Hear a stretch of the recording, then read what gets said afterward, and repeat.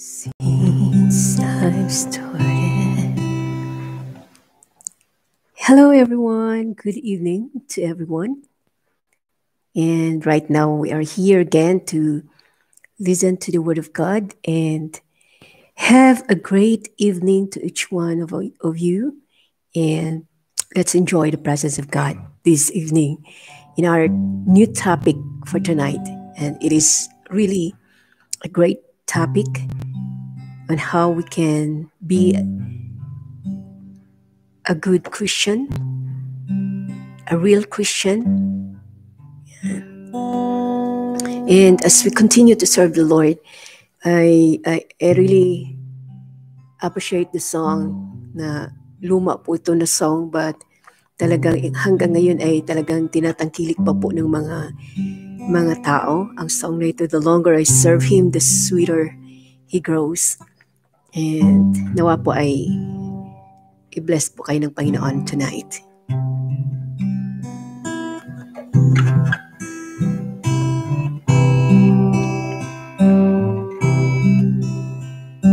Since I've started for thy kingdom. Since my life he control since I gave my life to Jesus the longer I serve him the sweeter he grows.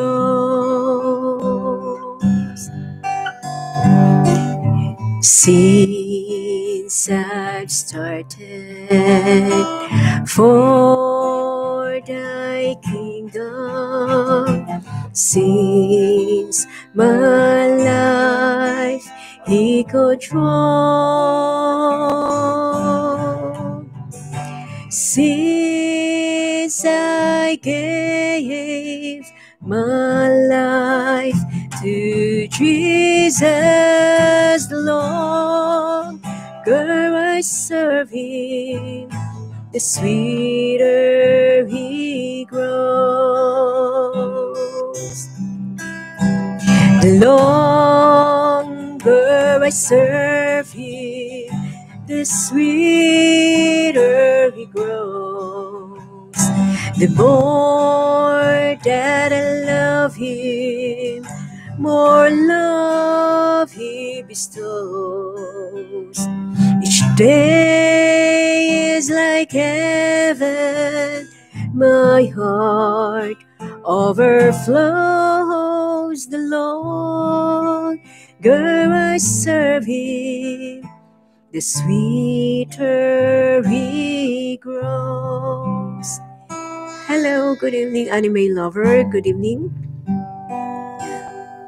Kaya, the longer we serve Him, the sweeter He, he grows. So sa ating pong pagpapatuloy na paglilingkod sa Panginoon, dapat po ay uh, makita po sa atin that we are growing because our topic for tonight is about the Christian growth. At uh, andun po na patuloy po tayo po na makinig sa ating pong topic po ngayong gabi. But before that, tayo po ay uh, tayo po ay uh, patuloy na uh, purihin ang Panginoon sa mga mga ibang mga awitin po natin na talagang uh, yung nakaka dala po sa atin sa pag-worship sa atin pong Panginoon. So alam ko po na sa araw po na ito ay marami pong ginawa ang Panginoon sa buhay po natin kaya uh, kantahin po natin ang isang awit na bilang pag welcome sa presence ni Lord sa atin pong pag-uusapan po ngayon pong uh, gabi. Hello, Yorong, good evening. Hello, my friend. Yeah.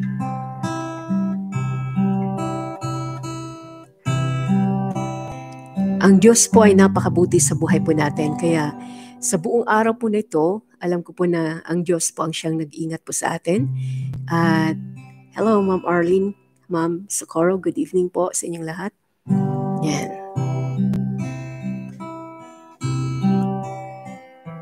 Kay buti-buti mo, Panginoon,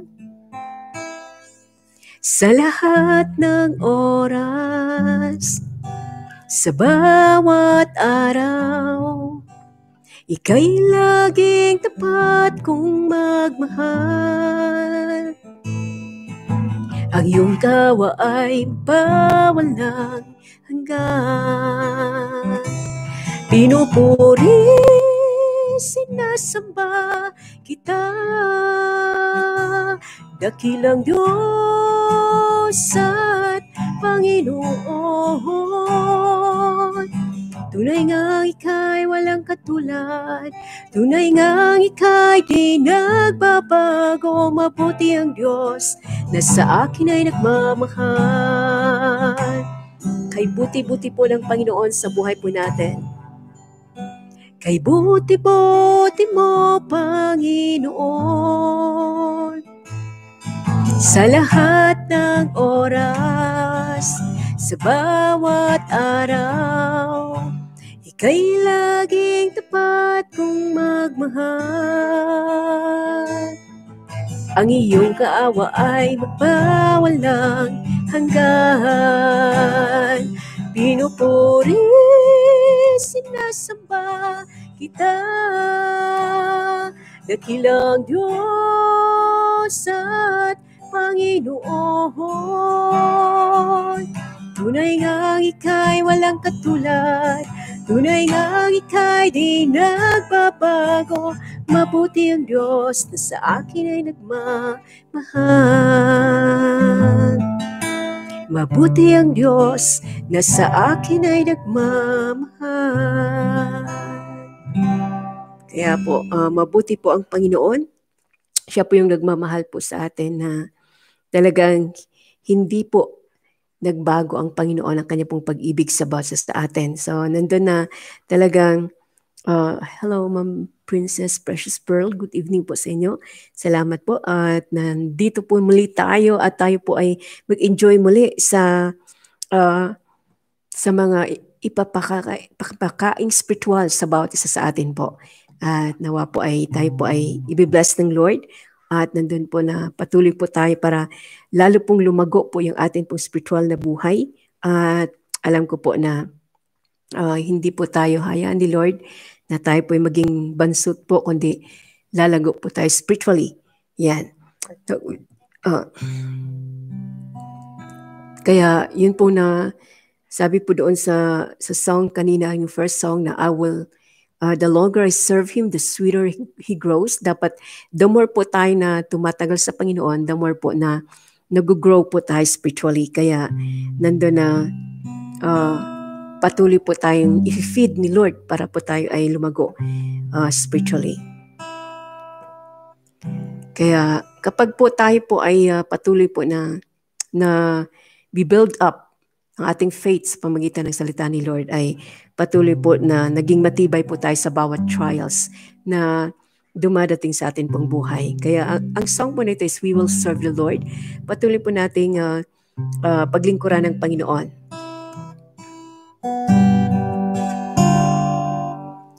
We will serve the Lord even when trials comes. No one can separate us from the love of God. We are more than conquerors. No one can defeat us. We are a chosen generation. We are the sons of God. We will serve the Lord we will serve the Lord. As for me and my house, we will serve the Lord. We will serve the Lord. We will serve the Lord. As for me and my house, we will serve the Lord. We will serve the Lord even when trials comes, no one can separate us from the love of God. We are more than conquerors. No one can defeat us. We are a chosen generation. We are the sons of God. We will serve the Lord. We will serve the Lord. As for me and my house, we will serve the Lord. We will serve the Lord. We will serve the Lord. As for me and my house, we will serve the Lord. As for me and my house, we will serve Lord. Yan po. As for me and my house, we will serve the Lord. Yan po yung sinabi ni, ni Joshua.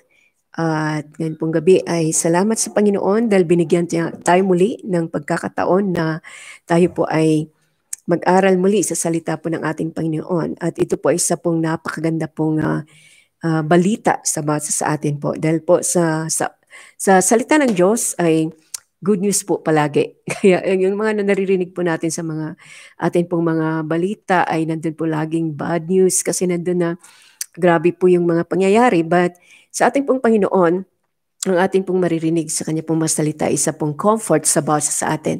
Isa po itong nagbibigay sa atin ng kalakasang spiritual. Kaya po tayo po ay patuloy po na naglilingkod sa Panginoon. It's because na naroon po ang kanya pong pag-sustain sa atin ng kanya pong salita. Dahil hindi po tayo lalago hanggat hindi po tayo makikinig at makikinig po ng salita po ng ating Panginoon. So nais ko lamang po na ipaalala po muli yung pong ating napag-aralan po ng mga nakaraang gabi. At Uh, yun po ay patungkol po sa the seven ha- habits of a highly successful Christian. Paano po tayo maging successful na Christian? Christian? Doon po sa Joshua, chapter 1, verse 1 to 16. Kaya sabi nga po na, ang una po natin po na uh, para tayo maging highly successful Christian is be sensitive. So kaya God could use Joshua because he was sensitive to the voice of God. So kaya po ginamit po siya ng Panginoon si Joshua dahil masyado po siyang sensitive sa voice ng Panginoon. Hello po, Maria Mayadera TV. Good evening po muli sa inyo. Yan. So, i-recall lang po natin yung ating topic po nakaraan. So, the seven habits of a highly successful Christian. And the number one is be sensitive. So, are you sensitive to the voice of God? Minsan po, ay hindi naman na po uh, naririnig po natin sa pamagitan po na talagang personal na kaharap si Lord sa atin, kundi po through His Word, tayo po ay na, na nakakausap po ng atin pong Panginoon. Kaya, yun po, Joshua wasn't uh, a busy person kasi po lagi po niyang pinapakinggan, lagi pong naka-tune in ang kanya pong uh, ang kanya pong pandinig sa atin pong uh, sa atin pong uh, Panginoon. Kaya yan. So hello Narendra. Pantam, good evening. So yan po, uh, be sensitive. And the second thing is be strong. Be strong sa verse 3 and 4. 3 to 7. So yan po. So dapat na sa, sa ating pong uh, pakikipag uh, commune sa Panginoon ay nagiging strong po tayo sa ating pong uh, sa ating pong uh, spiritual na buhay. Hello, Marie. Good evening. Hello friend, good evening. So yan po, be strong. Dapat po maging matibay po tayo. So think, uh, naroon po kung atin pong titingnan si Joshua at saka si Kali po were the only ones, the first na nandun po na talagang nag, nagpakita ng courage para harapin po yung mga giants na kalapong dadaanan po bago nila marating po ang promised land. Kaya sabi nga po dito na uh, sabi nga po dito that it is uh, through the strength of the Lord na kung saan po ay tayo po ay nagpapatuloy po sa paglilingkod sa Panginoon. Kasi ang ating pong Panginoon is strong, a strong God, a powerful God. So dapat po tayo na tagasunod po niya ay maging strong din po. Then, number three is be focused. Marami pong mga Krisyano po na kaya sila bumabagsak spiritually. It's because yung focus po sa paglilingkod sa Panginoon ay talagang uh, minsan nasa sidetrack tayo sa mga pagsubok sa buhay. Katulad po ni Peter, di po ba, nung time na siya po nag, uh, lumalakad na sa tubig at kasi nakita, nag, naniniwala siya na si Jesus po ay naroon at nandun na siya po ay lumakad kay, dahil po sa kanyang pananampalataya. Yun. And then, nandun po na talagang uh, siya po nakalakad, pero nung time po na nakita na po niya yung, yung waves na parating na po sa kanya, at na yung pong malakas po na hangin, nag-sink si, si Peter. Uh, dahil po hindi na na-focus sa Panginoon ang kanya pong paningin. Kaya ganyan din po mangyayari po sa atin spiritually kapag hindi po tayo nakafocus sa ating Panginoon. Kaya nga po sa Hebrews chapter 4, verse 12, nasabi po doon na fixing our eyes on Jesus, the author and the finisher of our faith. So kaya nga po, if-fix natin yung eyes sa Panginoon, sa ating Panginoon, para hindi po tayo uh, masasidetrack sa anuman pong mga uh, bitag ng kaaway. Kaya dapat po maging focus tayo if you want to be a highly successful Christian. Kaya nga po, sabi nga po na uh, maging focus tayo. Wala po tayong tayong titingin sa left and right, kundi po focus lang talaga sa Panginoon, fixing our eyes on Jesus, the author and the finisher of our faith. Kaya then number uh, number four is be in in the word be in the Word ay sabi nga po doon na ay kailangan po na panghawakan natin ang salita ng Lord. So if you ever want to be more than a surface Christian, you have to get this area in your life together.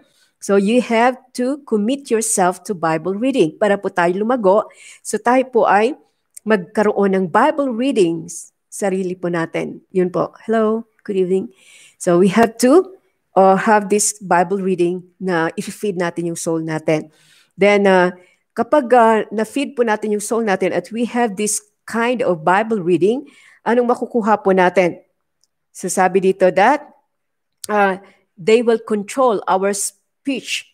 So sabi nga po doon sa Joshua that we will not depart from your mouth.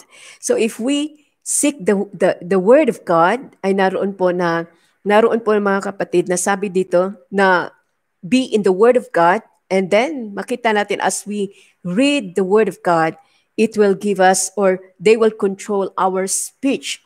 And then they will control our thoughts. Kapag po tayo napuno ng salita ni Lord, ay, nandun po yung pong mga doubts natin, ito po ay aalis. Ito po ay tatanggalin ng Panginoon at papalitan po niya ng positive thoughts na meron po na ibibigay po niya. So you shall meditate on them. Sabi doon, bibigay, bibigyan ni Lord ng, uh, ng uh, positive thoughts si Joshua through sa kanya pong pag-meditate ng word ng Panginoon. Kasi kapag nag-meditate ka ng word ng Lord, yung po bang nawawala po yung atin pong mga doubts kasi na dun, mayroon tayong panghahawakan eh.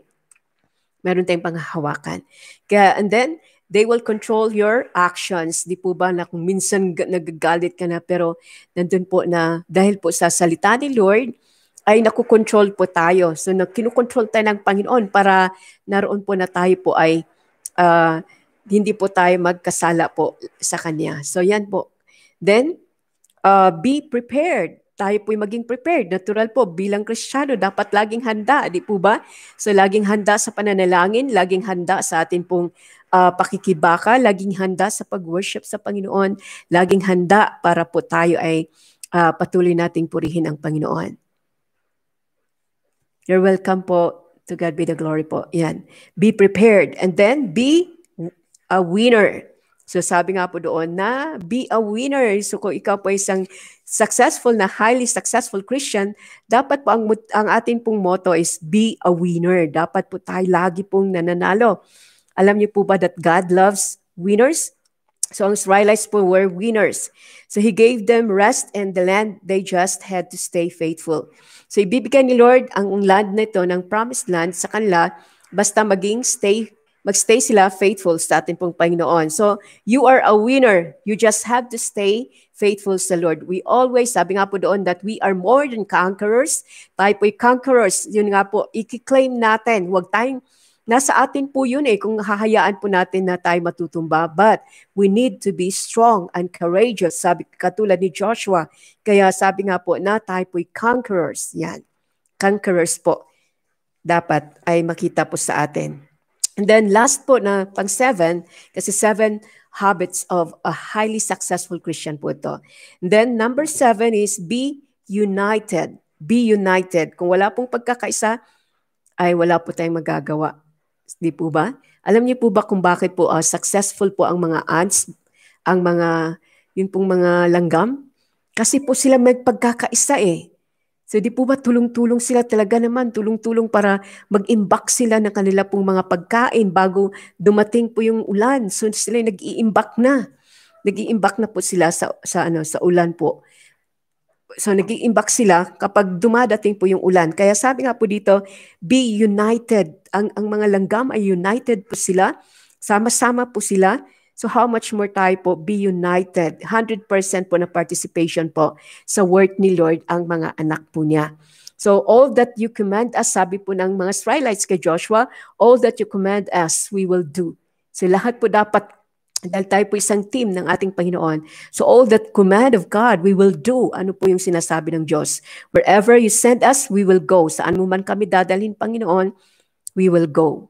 Wala pong wala pong uh, paayaw-ayaw po pagdating po sa Panginoon. Laging go, laging go ang sagot sa Panginoon. Yan. So ano man po ang mga crossroad po natin sa buhay. So lagi lang po tayong pong magpatuloy na maglingkod sa Panginoon. Ano man po uh, ang road na pinagdadalhan ng Diyos sa atin kasi hindi naman sinabi ni Lord na kapag sumunod tayo sa Kanya ay easy gulaki lang tayo or pa, yung po bang pabanjing-banjing, okay lang, ganyan, hindi po rough road yung atin pong dadaanan.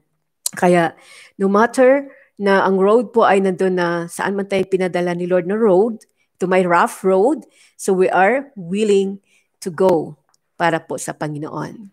Amen. So naalala ko po yung akin pong uh, mission po. Sa DBB po kasi kaya lagi ko po itong nababanggit kasi grabe po yung uh, yun pong uh, grabe po yung uh, pag-mold, pag-shape sa akin sa lugar na yon. Talagang doon ako tinuruan ng Diyos sa lahat eh. At nandun po na patuloy po na pinipreserve ako ng Diyos. So sa pamagitan po noon, sa pamagitan po ng, uh, ng mission na yon, ay nananatili po ako doon. So yun po, sabi nga po na dapat kung saan tayo dadalhin ni Lord, hello? Okay, stay safe. May the Lord guide you and protect you. Hello, Simplicity of Life. Good evening. So yun po. Uh, uh, naroon po na sa akin pong uh, paglilingkod sa Panginoon doon sa lugar na yon. Talaga naman, uh, nandun po yung, uh, andun po yung, yung, yung, yung courage na talagang patuloy na maglingkod sa Panginoon. Kaya sabi nga po dito na saan ka man pinadala ng Diyos ay nandun po na talagang saan ka man pa, dadalhin ng Lord, be willing. Ibig sabihin, walang, wala pong, uh, wala pong dapat po na, ayaw ko Lord eh, ayaw ko doon Lord kasi walang pagkain, ayaw ko doon Lord kasi mahirap ang buhay, kundi po, be willing kung saan man po tayo na, saan man po tayo na, kwa, na dadalhin po ng atin pong Panginoon, yung atin pong mga yapak. So naalala ko po yung akin pong mission po doon. So every time po na umuulan, kasi that, that is two hours hiking from the lower DBB to Katarawan village, isang Kataraw, uh, isang village po yan doon. At uh, I take two hours na pag-hike doon sa jungle. At alam niyo po ba yung aking buta, yung aking boots ay hindi ko na magagamit lalo pag tag-ulan kasi mas ma, mas mahaba pa po yung mas malalim pa po yung uh, yung mahaba pa yung putik kaysa doon sa bota ko. Kaya pag uh, pag nagbota ako talagang babaon yung bota kasi ma, ma ano eh ma, masyadong mataas yung putik. Hello, easy cooking. Good evening. And then naglalakad po ako tapos uh, grabe yung putik as in talagang napakalambot nung, nung putik po, napakalambot.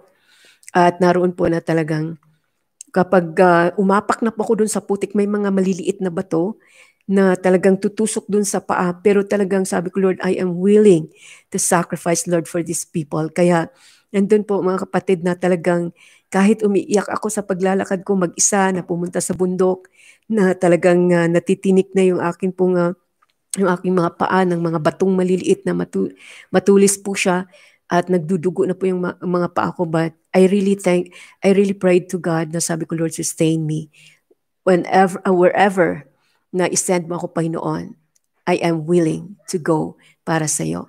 So yan po mga kapatid, sa ating pag being as a highly successful Christian, maging willing po tayo. Be united. Ano bang pwedeng maging part mo, maging part mo sa, sa kingdom ng atin pong Panginoon.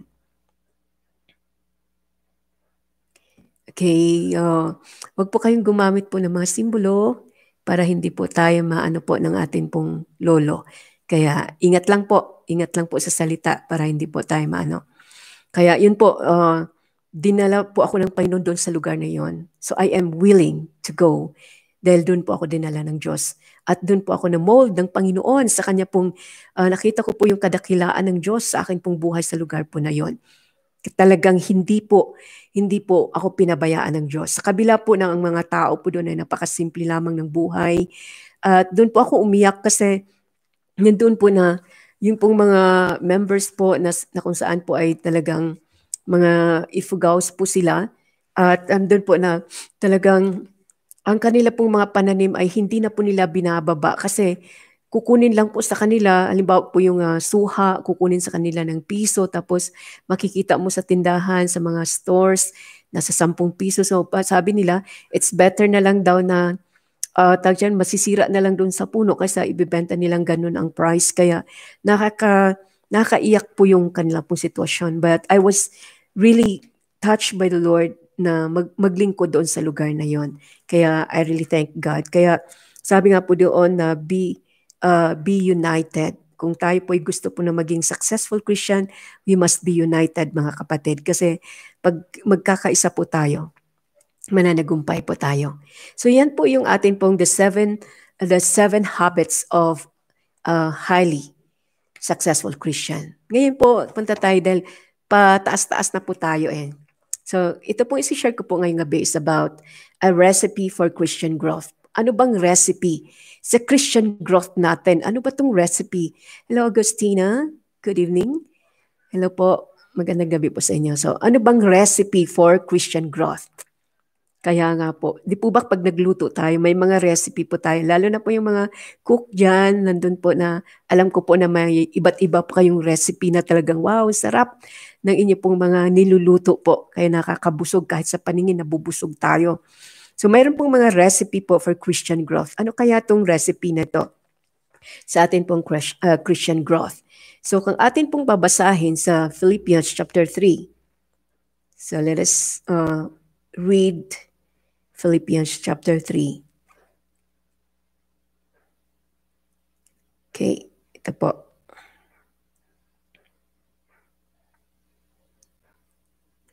Sa Philippians chapter 3, verse 1 to 16 po. So sa wakas mga kapatid, magalak kayo sa Panginoon, hindi ka hindi kaabalahan para sa akin na ulitin ang na isulat ko na dahil ito naman ay para malayo, malayo kayo sa kapahamakan. Verse 2, mag-ingat kayo sa mga taong asal-aso, sa mga taong mahilig sa paggawa ng masama, sila'y mga taong nanghihiwa ng kanilang katawan. So verse verse uh, verse 3. So tayo ang tumanggap ng tunay na pagtutuli tayo ang mga sumasamba sa Diyos sa pamagitan ng kanyang Espiritu ang ipinagmamalakin natin ay ang ating buhay kay Kristo, hindi tayo umaasa sa mga panlabas na seremonya. Verse 4, Ang totoo ako'y may sapat na dahilan upang panghawakan ang mga panlabas na seremonya. Kung inisip ni naman na siya'y may katuwirang umasa sa ganitong gawain, lalo na ako, verse 5, kaya uh, ako'y tinuli ng ikawalong araw mula nang ako'y isinilang. Ako'y isang tunay na Israelita buhat sa angkan ni Benjamin at katutubong Hebrew. Kung pagsunod naman sa kautusan ang pag-uusapan, ako'y isang pariseyo. Verse 6, dahil sa pagsugid uh, kung pagsunod sa kautusan, inusig ko ang iglesia kaya't kung sa pagiging matuwid, ayon sa kautusan, wala ring maisusumbat sa akin. Verse 8, uh, verse, uh, verse 7. Ngunit dahil kay Kristo.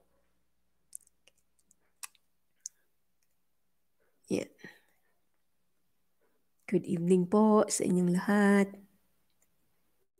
Yeah. So, verse 8, uh, verse 7. Ngunit, hello, Solo Mama. Good evening po. Thank you so much po. Alam ko po na uh, tayo po pagpalpalain ni Lord ngayon pong gabi sa ating pong topic is uh, a recipe for Christian growth. Then verse 8 po sa Philippians chapter 3, ito yung pinaka-text po natin. Uot itinuring kong walang kabuluhan ang lahat ng bagay bilang kapalit ng lalong mahalaga ang pagkakilala kay Kristo Jesus na aking Panginoon. Ito po si Paul. Ang lahat ng bagay ay ipinalagay kong walang kabuluhan, makamtan ko lamang si Kristo. Wow, ang ganda po ng kanyang verse. At lubusang makasama niya ang aking pagiging matuwid ay hindi sa pamagitan ng pagsunod sa kautusan kundi sa pananalig kay Kristo ang pagiging matuwid ko ngayoy buhat sa Diyos. Ang pagiging matuwid daw niya ngayoy buhat sa Panginoon sa pamagitan ng pananampalataya. Verse 10, ang tanging hangarin, hangarin ko ngayon ay lubusang makilala si Kristo. So wala po siyang ibang hangarin kundi lubusang makilala si Yesu Kristo. Maranasan ang kanyang kapangyarihan, sabi ni Paul maranasan kanyang kapangyarihan ng kanyang muling pagkabuhay, makibahagi sa kanyang mga paghihirap at maging katulad niya sa kanyang kamatayan. Verse 11, upang ako man ay muling buhayin mula sa mga patay. Verse 12, hindi sa nakamtan ko na ang mga bagay na ito, hindi rin sa ako'y ganap na. Ngunit sinisikap kong makamtan ang gantimpala sapagkat ito ang dahilan kung bakit ako'y tinawag ni Kristo Jesus. Verse 13, Mga kapatid, hindi ko ipinapalagay na nakamit ko na ito, ngunit isang bagay ang ginagawa ko. Nililimot ko ang nakaraan at sinisikap na marating ang layunin nais kong makamtan.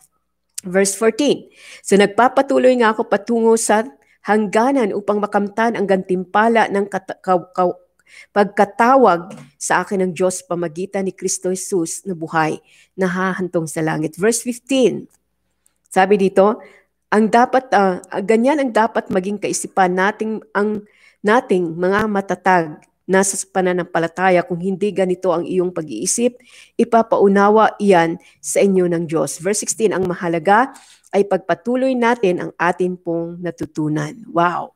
So napakaganda po ng uh, si Paul po ay siya po yung mag, mag ano po sa atin ngayon. Paano tayo magkaroon ng recipe for Christian growth. Wow! Ang ganda po ng atin pong mga topic. So mayroon po dito isang story po na si uh, isang preacher po siya si Charles uh, Simeon. Nasabi po niya kapag tinitingnan po niya ang portrait po ni Henry Mart- Martin, the, uh, yung isang missionary, So sabi nga po doon na kapag tinitingnan po niya ang picture, ni, a portrait ni, ni Henry Martin, so siya po ay merong nagre-ring sa kanya pong heart na sinasabi po, don't trifle, don't trif- trifle. So the reason the minister felt this way ay nandun po para uh, nandun po na maintindihan po niya. So si Martin po, nag-graduate po siya ng honors from Cambridge and had a prospect of, prospect of a brilliant academic career, si, si, Mar, si, Mar, si Martin. So, but he chose to serve the Lord in India, itong si Martin. So he was almost 25 years of age when he arrived there, and at the age of 31, he died. So, in, uh, yet in, this, in those six years, he translated the New Testament into three languages. Wow! The New Testament into three languages. Biro niyo po yan na talagang wow uh, tatlong languages. Alam niyo po ba nung ako'y nasa Buskalan, meron po akong uh, na-meet po ng mga ng mga Bible translator ng Butbut tribe, Butbut Bible. Hello, Pelcor. Good evening. So ito po ay talagang naroon po na ang hirap pala. So sila po yung mga Cebuano pero nandun po sila sa Butbut tribe para pag-aralan po yung salita. So mahirap po yun. How much more? Ito po si Martin na ta- talaga naman tatlo pong lingwahe ang kanya pong uh, ang kanya pong uh, sinulat, yung pong sa New Testament. So nandun po na uh, only eternity will reveal how much his work meant to each missionaries, to other missionaries, on, and how many souls were saved because of it. So dahil po sa pamagitan po ng kanya pong mga sinulat po ng New Testament sa iba't ibang lingwahe, ay marami po ang na marami po ang na ligtas sa ating pong Panginoon. So we have to thank God for the Bible Bible translator na talagang uh, talagang translate nila yung Bible para maintindihan po natin lalo. So si, si Martin, so Henry Martin like the Apostle Paul had profound sense of the sacredness of time. So nandun po na talagang hindi niya sinasayang po yung kanyang time. So nandun po na talagang uh, talaga namang uh, nandun po ang kanya pong uh, ang kanya pong heart po na maglingkod sa atin pong Panginoon. So nandun po yung kanyang greatness of His obligation para sa ating pong Panginoon. Dapat bilang Kristiyano tayo po ay Uh, nandun po yung, ah, hello Mama Jean Vlog, good evening po. So dapat mga tayong mga Kristiyano po ay nandun po yung atin pong obligasyon po toward Christ. Ano bang obligasyon natin? Kaya it's part of our Christian growth, yung itong atin pong obligasyon sa Panginoon. So it is said that Martin's picture still hangs in a hall where students go to pray and that penetrating gaze still seems to say, don't trifle, don't trifle. So, ganun pa rin ang nakikita ng mga tao doon sa kanya pong portrait. Mga kapatid, si Paul po was no trifler. Indeed, in this very passage po nating binasa, and sabi ni Paul, he speaks of following after dito sa chapter 3 verse 13 and pressing on chapter 3 verse 14 and Christianity is uh, nandun po uh, hindi hindi po siya itong uh, maging spectator lang po tayo. Spectator. Doon po sa ating pong uh, kabilang na bilang Kristiyano. So, nandun po na, hindi lamang po tayo maging spectator po na we just uh, sit uh, in the, in the stands and then tayo po yung papapalakpak na nandun po na talaga pinapalakpakan natin yung mga tao, yung mga heroes of faith na nasa arena. So, sabi nga po dito na ta- dapat po na uh, ito po yung uh, uh, ito po yung magbigay po sa atin that we must be a par- participator, hindi po spectator lamang sa Christian life, kundi po mag-participate po tayo. Kaya po hindi tayo lalago kapag wala po tayong participation sa gawain po ng ating Panginoon. So si Paul challenge ng Philippians to come down from the grandstand and get in the race. Sabi na, baba kayo. Para kasi, parang atleta po kasi ang, ang ating spiritual life ay para po tayong mga atleta na sumali po sa sa game. Kaya sabi ni Paul, bumaba na kayo dyan, wag lang kayo maging spectator, bumaba na kayo, makiparticipate na kayo. Sabi na, bumaba na kayo dyan sa grandstand and sumali na kayo dito sa race, sabi ni Paul.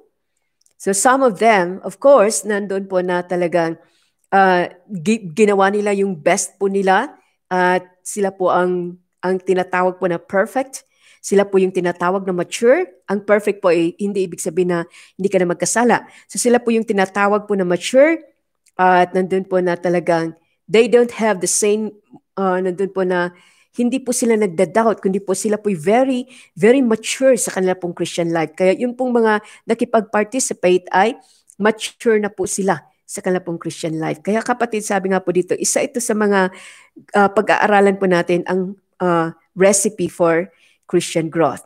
So, sabi dito the church ay marami po na ang mga prayer meetings po natin, mga Bible readings po natin, yung personal evangelism natin ay uh, hindi na po gaanong nagpa-participate ang mga Kristiyano. Kaya sabi ni Paul that pressing on, ibig sabihin po magpatuloy po tayo. Huwag po tayong titigil. Kung minsan po kasi dahil siguro nagsawa na tayo, so titigil na tayo. Pero sabi ni Paul, be on, sabi niya, bumaba na kayo sa grandstand and then get in the race. So tayo po ay nasa race na po ngayon.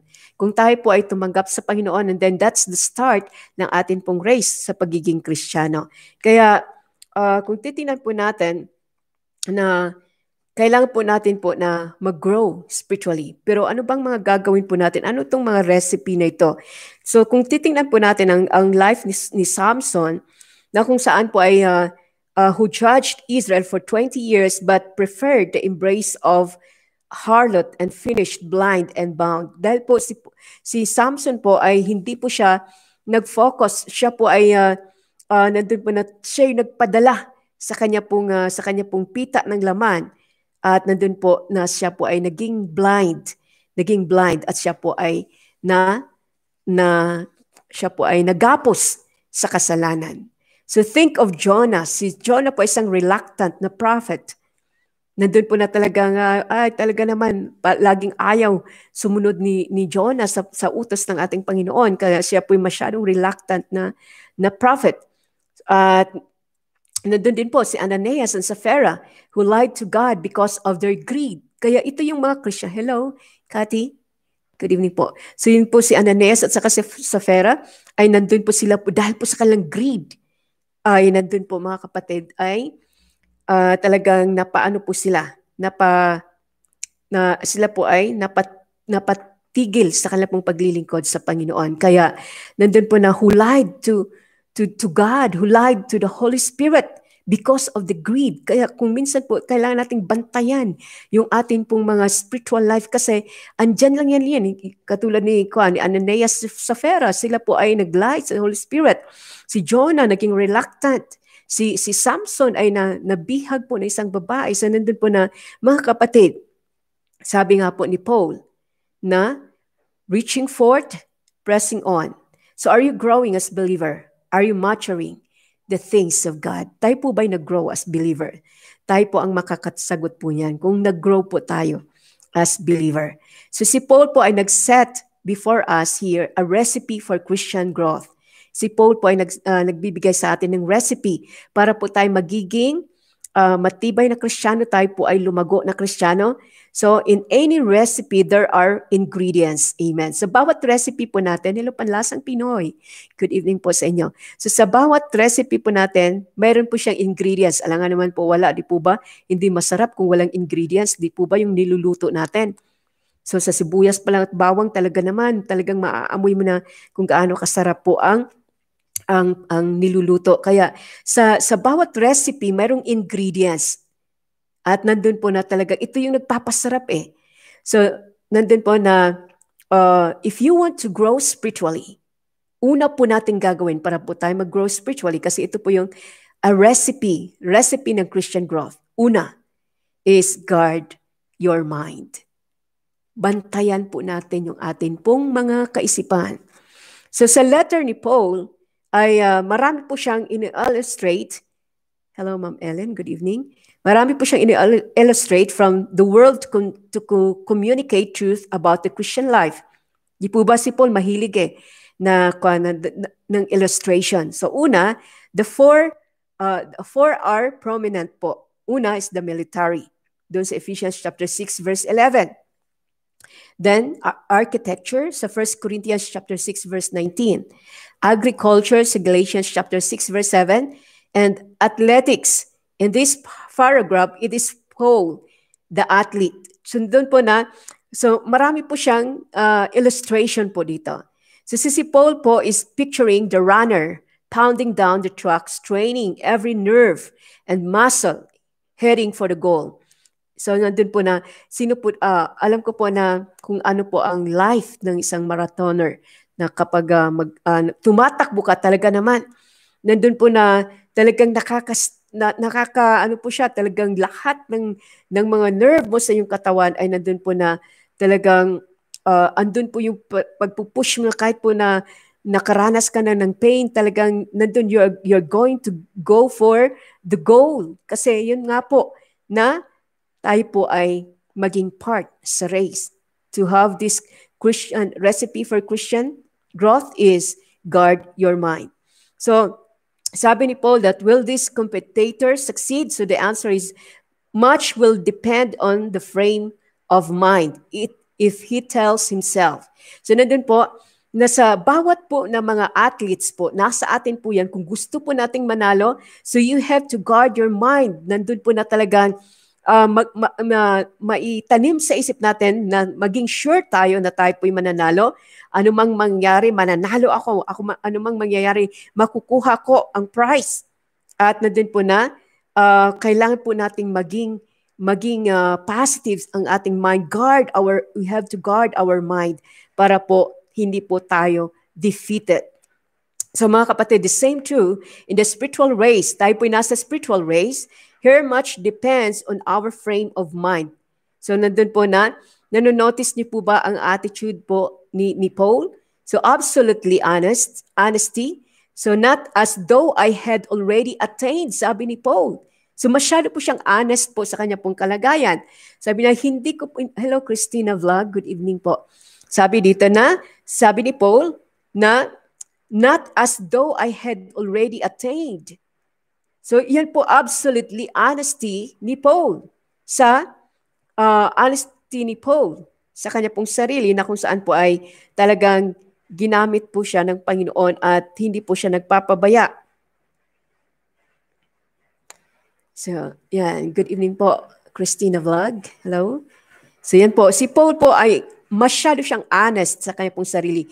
Sabi niya, as though I had already attained, not as though as I had already attained. So si Paul po, mga kapatid, ay uh, if we review ang kanya pong past na life, so he could think of the souls he had led to the Lord. So alam po niya, marami po siyang nadala sa Panginoon.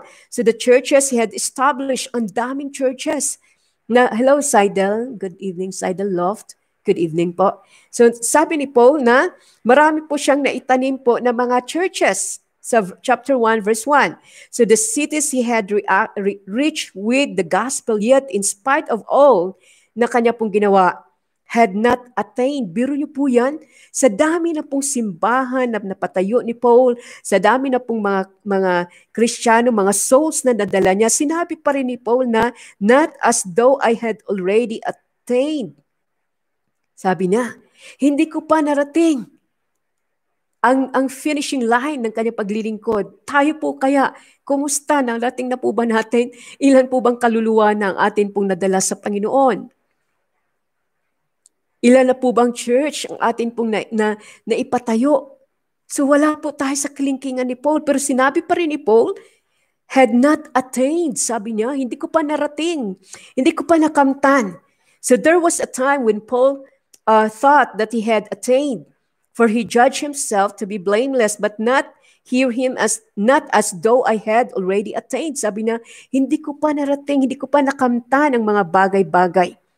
So sinless perfection was not the experience of Paul this side of story. So indeed, he says that, brethren, I count not myself to have apprehended. Si Paul po, ang goal po niya was perfection. Complete conformity sa ating pong Panginoon. Conformity to Christ. Chapter 3, verse 11. But he had not attained it. Biro niyo po yung kanya pong desire. Kaya nga po, ito ibibigay ni Paul sa atin. Ano ba itong recipe of Christian growth? Ang sabi niya, guard your mind. Kaya sinabi ni Paul, ay kumisan po nagmamalaki po tayo, di po ba? Ay, nandun na talaga naman. Pag nakita po natin high yung ating spirit, talagang masasabi natin, oy banal na ako. No. Si Paul, sinabi niya dito, sabi niya, ang kanyang goal was perfection, complete conformity sa Panginoon, pero sinabi niya, but he had not attained it. Hindi pa po niya nakamtan. Amen. Kumusta tayo kapatid? Nakamtan na po ba natin ang, ang perfection, ang complete conformity kay Christ? Eh, hindi pa nga po, hindi natin nagawa eh. Wala tayo sa kalingkingan ni Paul. Si Paul naka, nakapag-usher na ng maraming souls sa Panginoon.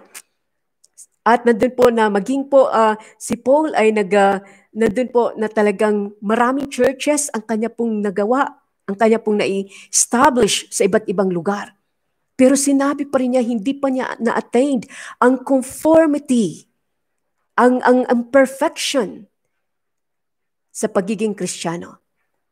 So sabi nga po dito, ang dual, uh, dual use of the word the perfect doon sa chapter 3 verse 12 and chapter 3 verse 15 ay uh, si Paul has not arrived yet at perfection. Hindi pa po niya narating ang perfection ni po, si Paul. At sabi nga po dito na uh, hindi pa niya narating ang perfection but he is he is perfect. Ibig sabihin po kasi ng perfect is mature. Kaya tingnan po natin sarili natin ngayon. Mature na po ba tayo? So na- narating na po ba natin ang perfection? So but he, even though na hindi pa niya narating ang perfection, but he is perfect. Or siya po'y mature. Kaya nga po gusto ng Panginoon tayo mag-mature. And one mark of this maturity is the knowledge of that He is not perfect. Hindi pa tayo perfect. Kaya wag po tayong tumingin mga kapatid sa ating mga kapatiran kahit po sa atin pong mga mga superior. Kasi wala pa tayo sa perfection that even Paul, sabi niya, hindi pa niya na-attained. Kaya patuloy po, kung atin pong susundan itong recipe of Christian growth, siguro masasabi natin, atin pong ma-evaluate yung sarili po natin. So guard your mind, ang first. Kaya bantayan po natin yung ating mind. So the mature Christian honestly evaluates himself and strives to do better. Na din po, bilang mature na Christian, maging honest po tayo na evaluate natin yung sarili natin. Nung binasa ko nga po ito, nung pinag-aralan ko ito, sabi ko, Lord, hindi pa pala ako, hindi pa pala, wala pa ako sa perfection. Hindi pa pala ako masyadong mature sa iyo kasi marami pang dapat po na baguhin po sa akin. So the mature Christian honestly evaluates himself and strives to do better. So nandun po, dapat po, we are striving to do better for the Lord.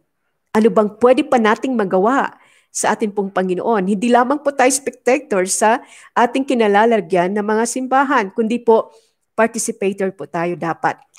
Amen. So sa Bible po ay kadalasan, we are warned against the a false estimate of our spiritual condition. Kung minsan po akala po natin spiritual na tayo eh. Pero hindi eh. Pag, pag, pag tayo po sinala ng salita ng Lord, hindi pa tayo hindi pa po tayo uh, mature sa atin pong spiritual na buhay. So do you recall what the reason Lord Jesus says to the church sa Sardis po? Sabi niya, Thou hast name that thou, uh, thou hast a name that thou livest and art dead.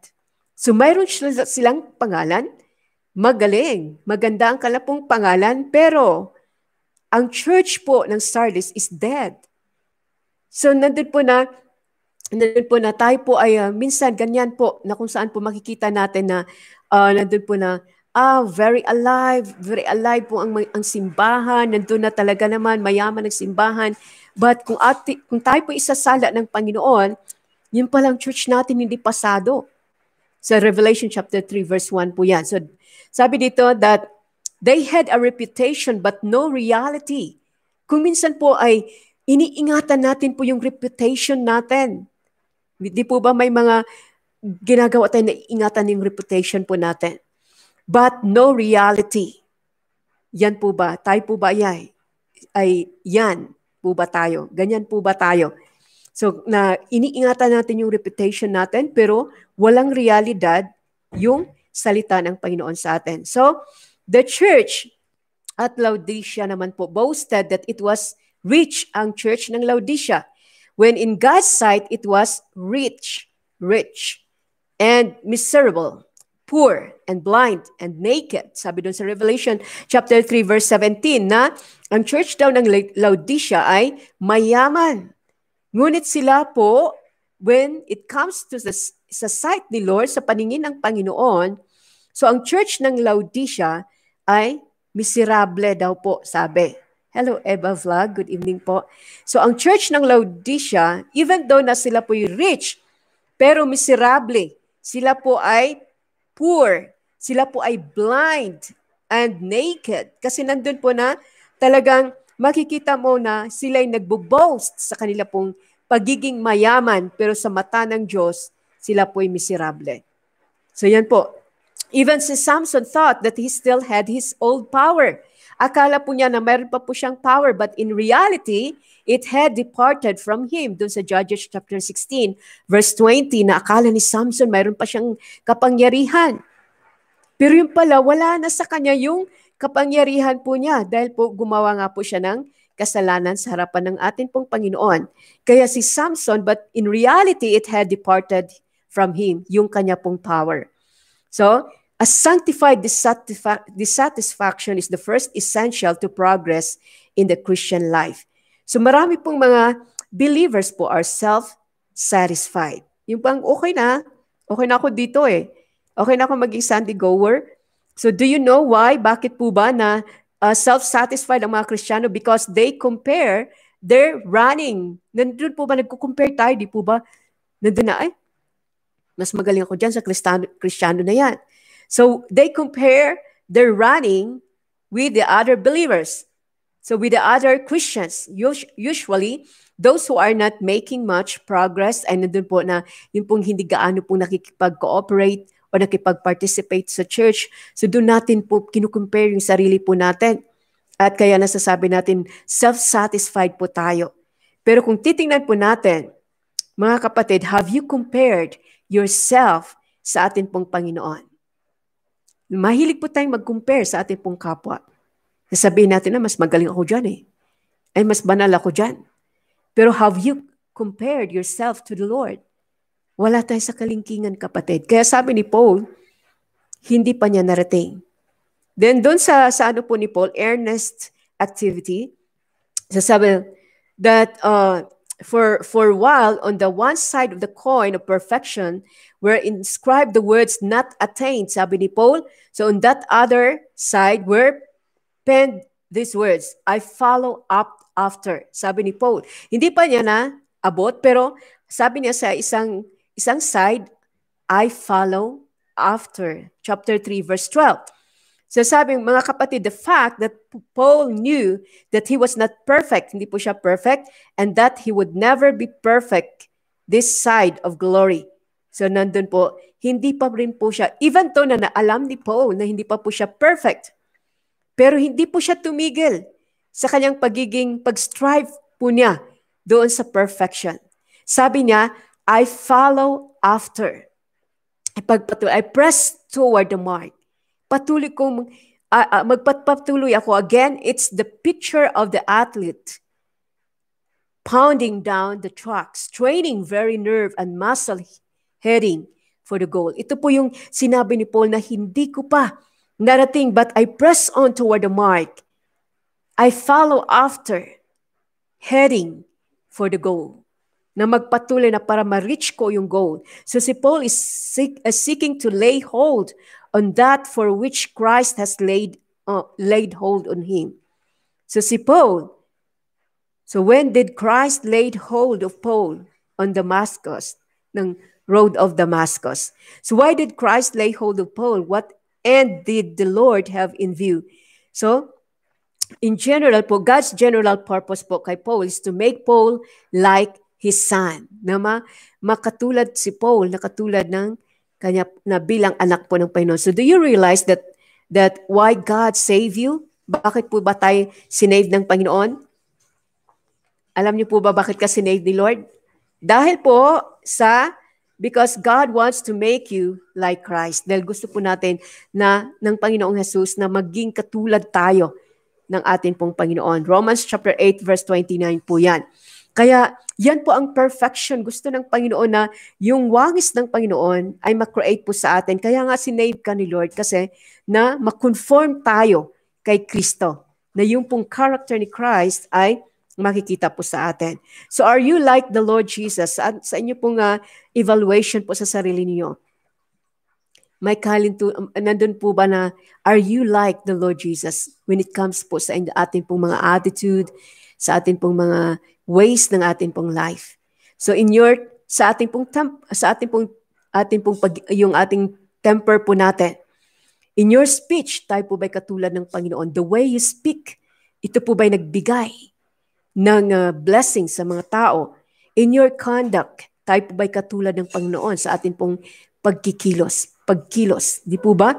So there was also God's special purpose. Do you recall what the Lord told Ananias? For he is a chosen vessel unto me to bear my name before the Gentiles. So tayo po, kaya tinawag ka ng Diyos kasi gusto ng Panginoon, pinili ka niya as a chosen vessel ng ating Panginoon, sisidlan ng ating buhay na Diyos. Yan po isa po sa uh, purpose ng Panginoon, bakit kanya tinawag. So sa Acts chapter 9 verse 15, so do you see Paul makita po natin si Paul ngayon, he's not only striving for perfection, but he is striving for for a life in which the purposes of God is fully realized. So yun po, strive lang, nag-strive si Paul na nandun po na talagang tuloy lang po siya. Hindi siya tumigil sa paglilingkod sa Panginoon. Hello po, simple, oh yeah. Opo, yan.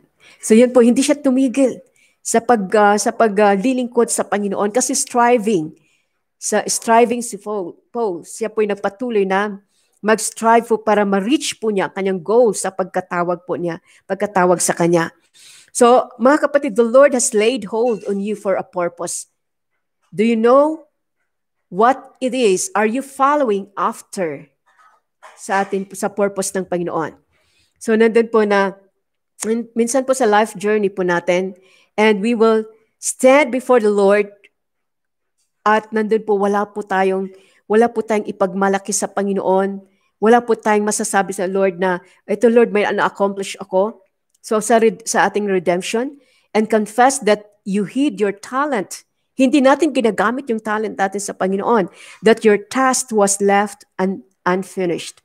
So na din po, kaya nga po na gamitin natin yung talent natin sa Panginoon kasi someday tatayo tayo sa Panginoon eh. Sasabihin ni Lord sa'yo, anong ginawa mo sa gift mo sa, na binigay ko sa'yo? Anong ginawa mo sa talent na binigay ko sa'yo? So ngayon po, pag humarap tayo sa Panginoon, ano nga itong masis, ano po ang ating masasabi sa Kanya? Lord, hindi ko nagamit eh. Tinago ko lang Panginoon. So yan po mga kapatid, sabi nga po dito na you have to, uh, yun po bang gamitin ang talent mo. Be a vessel, a chosen vessel ng ating pong Panginoon para gamitin po tayo lalo ng Diyos. Kaya sa maliit po ng mga bagay po na binigay ni Lord sa atin ng mga talents,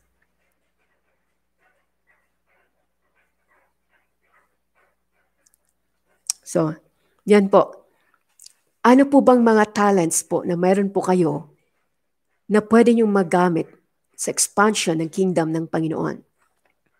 Baka mayroon pong gusto pong sumagot uh, or mag-share po na paano ka nagpagamit, paano ka naging uh, vessel, a chosen vessel ng ating pong Panginoon na magamit niya sa kanya pong ubasan. Yun pong mga talents po natin, hindi po yan para sa ating sarili. So binigay ni Lord yan para magamit po sa kanya pong kingdom. Kaya nga po gagamitin tayo ng Diyos eh. Kasi sabi ni Paul na uh, we are a chosen vessel ng Panginoon. Pinili ka niya kasi kasangkapanan ka ng Panginoon na kanyang kapangyarihan na tayo po ay dadalhin natin ang kanyang dakilang pangalan before the Gentiles, doon po sa mga taong hindi pa nakakilala sa kanya. Kaya po, ano po ang inyo pong mga talents na pwede nyo po? Okay, singing. Maganda po yan, singing. So kung singing po ay nandun na, sabihin nyo po sa inyo pong ano na mag-involve ka doon sa music ministry ng inyong pong simbahan. At sabihin nyo po na ito gusto ko po na magpagamit sa Panginoon. So sa last days na po na ito, wala na po tayong time. So anong gagawin mo sa talent niyo po? I, ibabaon na lang po ba natin yung talent po natin? Gamitin natin ito sa Panginoon. Kahit sa, sa pag-awit po natin. Yan. Intercession, yes, maganda po yan. Yan ang pinaka maganda po na bigay na gift ni Lord sa atin yung pag-intercede. Ang ganda po niyan kasi talagang Pinili ka ng Panginoon bilang sisidlan niya para ipanalangin ang ating bansa, ang atin pong ang atin pong mga mga yung atin pong mga government official uh, officials po natin na tal- talagang kailangan na po nila ng panalangin po natin. Kaya yan po, ano pa ba ang mga talents na mayroon po kayo para magamit po natin sa atin pong Panginoon. So kay kay Ma'am Arlene singing, kay Ma'am Precious, uh, Princess Precious Pearl ay intercession. Ano naman po sa inyo? Yeah. Sa akin din po ay singing. Kuminsan po ay nando na marami pong mga talents na binigyan ni Lord sa akin, pero nandun po na pinaka-passion ko po talaga ay yung kumanta sa Panginoon. Lalo na po, uh, lalo na po pag, uh, halimbawa po may mga crusade na yun, ino-offer ko po yung sarili ko na uh, maging part doon sa crusade para kumanta lang, magbahagi po ng salita ni Lord through sa songs. Yan. Kayo po, ano po bang mga talents na mayroon po kayo? Kasi isa po yan sa mga uh, kung paano po tayo magkaroon po ng uh, isa po yan sa recipe po natin for Christian growth. Yung ibigay po natin, ibigay natin sa Panginoon ang atin pong mga talents. Amen. So yan po, sabi ni Paul. So may purpose si Lord. Ang purpose ni Lord ay nandun po na tayo po'y magiging chosen vessel ng atin pong Panginoon. So pangalawang recipe po ay give your best.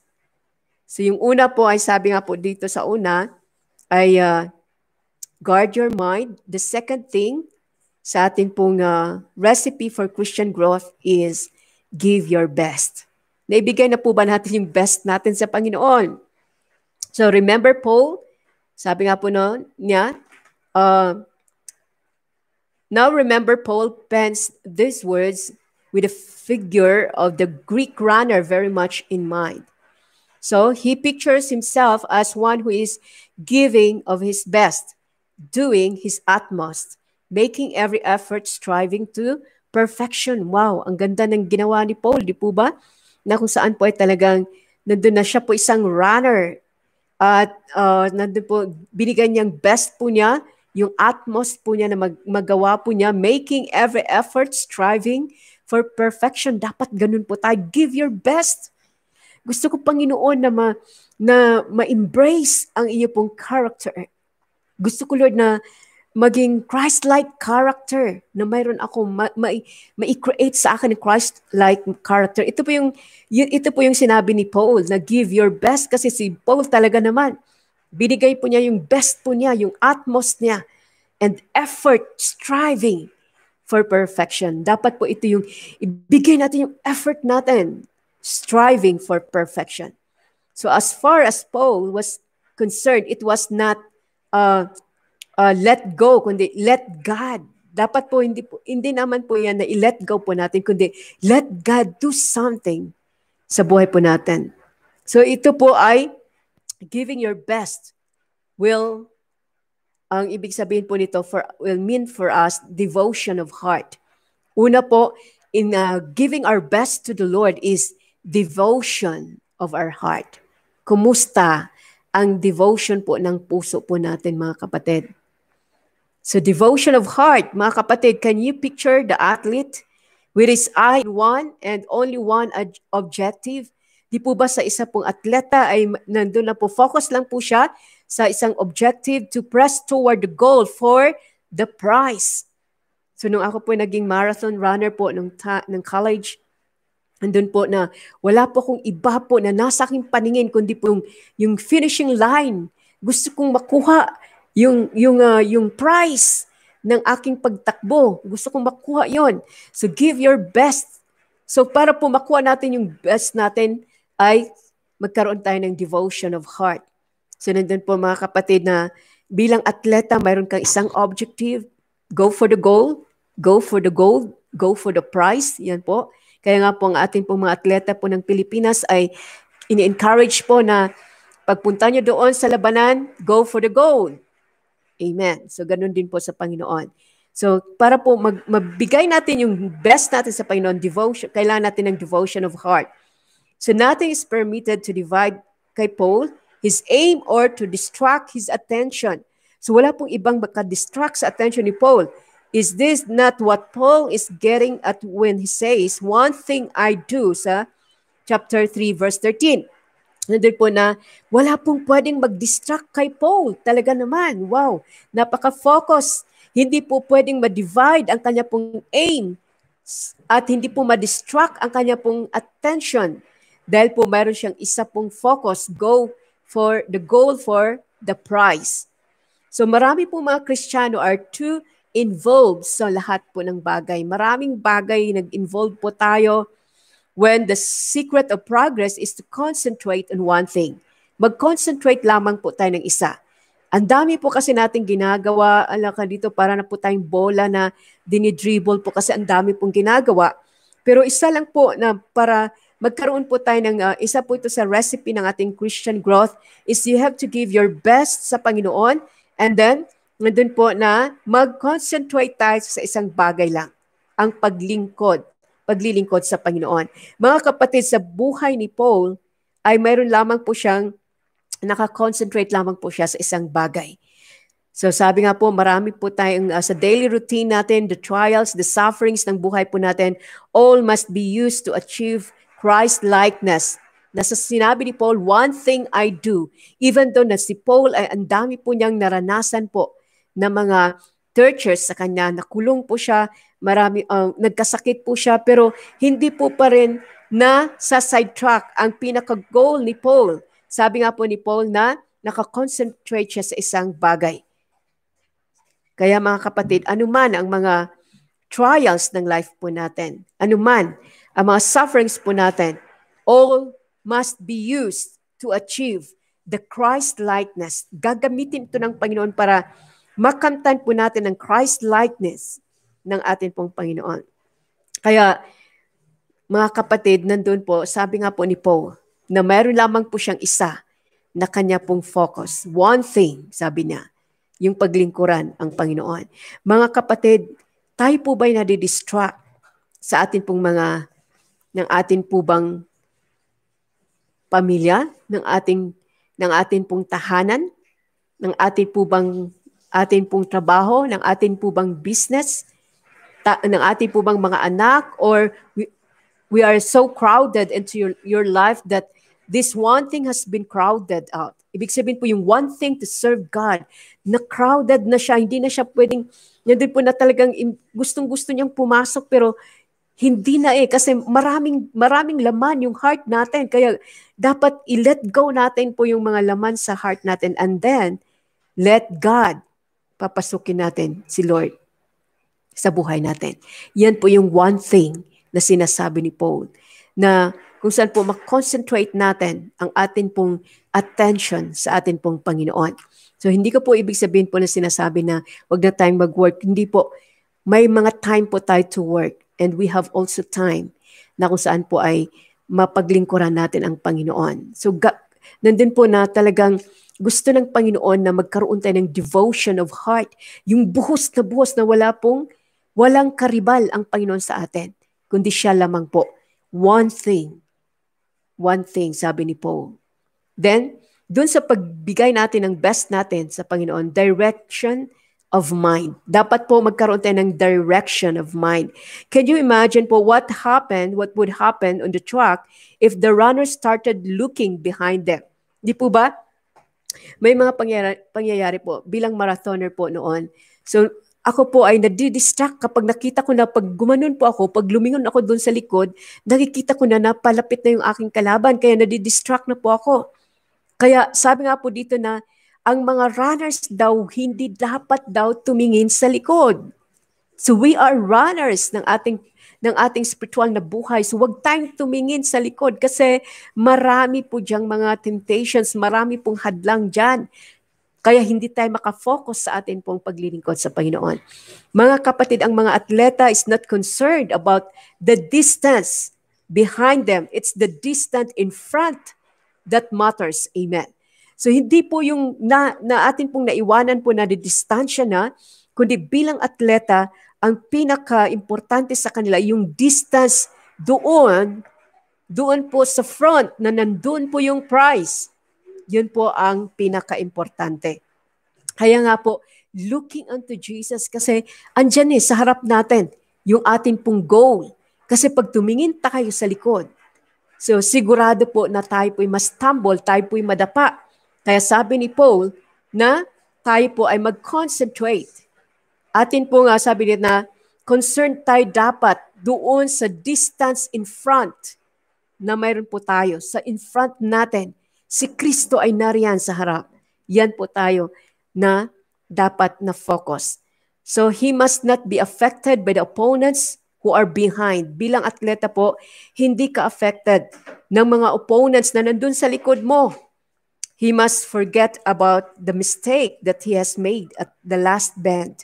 So nandun po na, ang pinaka-concern po natin, wag nating tingnan yung ating mga kalaban, mga opponents behind us, ang very important po is to look forward what is uh, what is ahead of us and that is the salvation of the Lord. So, sabi nga po dito na sa bilang atleta, he must forget about everything and anything that would impede him from reaching the mark. So, ano man po yung mga hadlang natin para tayo, hindi natin ma-reach po yung mark na yon. So, forgetting those things which are behind. Kalimutan na po natin ang mga bagay which are behind us. Kaya kapatid, sabi nga po dito na we have to forget what is behind us. So, is that how you handle your past sins? Kapag tinatang, uh, uh, tinitingnan pa rin natin yung nasa likod po natin, sunod na nakikita natin ulit yung ating pong mga kasalanan, yung ating mga problema, yung ating pong mga grievances, grievances, and then yung ating pong mga grudges ng buhay po natin. Do you not want to forget them? Nandun po, kalimutan natin to. Hindi yan makakatulong sa growth po natin bilang Kristiyano. Kapag lagi po nating iniisip po yung mga grudges po natin, yung ating mga problema, yung ating pong mga mistakes, yung ating pong mga past sins, ay nandyan po. Huwag natin po itong alalahanin. Forget it. Nandun po, kalimutan na po natin. So mga kapatid, as long as those things had been made right with God and right with your fellow believer, forget them and press on with a determination that each new day we will find you more like Christ. Ang pinaka-importante po nito is pang araw-araw, sabi dito, na maging katulad tayo ng ating pong Panginoon. Kasi pag lagi pa rin po nating kinikip po yung mga grievances po natin, yung ating pong mga yung ating pong mga problema, yung ating mga grudges, talagang hindi tayo makakaahon eh. Talagang hadlang yan eh. Kaya sabi ni Paul, let go na natin yan. Let go na natin. And let God come in sa buhay po natin. Magkaroon po tayo ng, ng determination, determination that, that each new day, tayo po'y maging katulad ng ating pong Panginoon. Amen.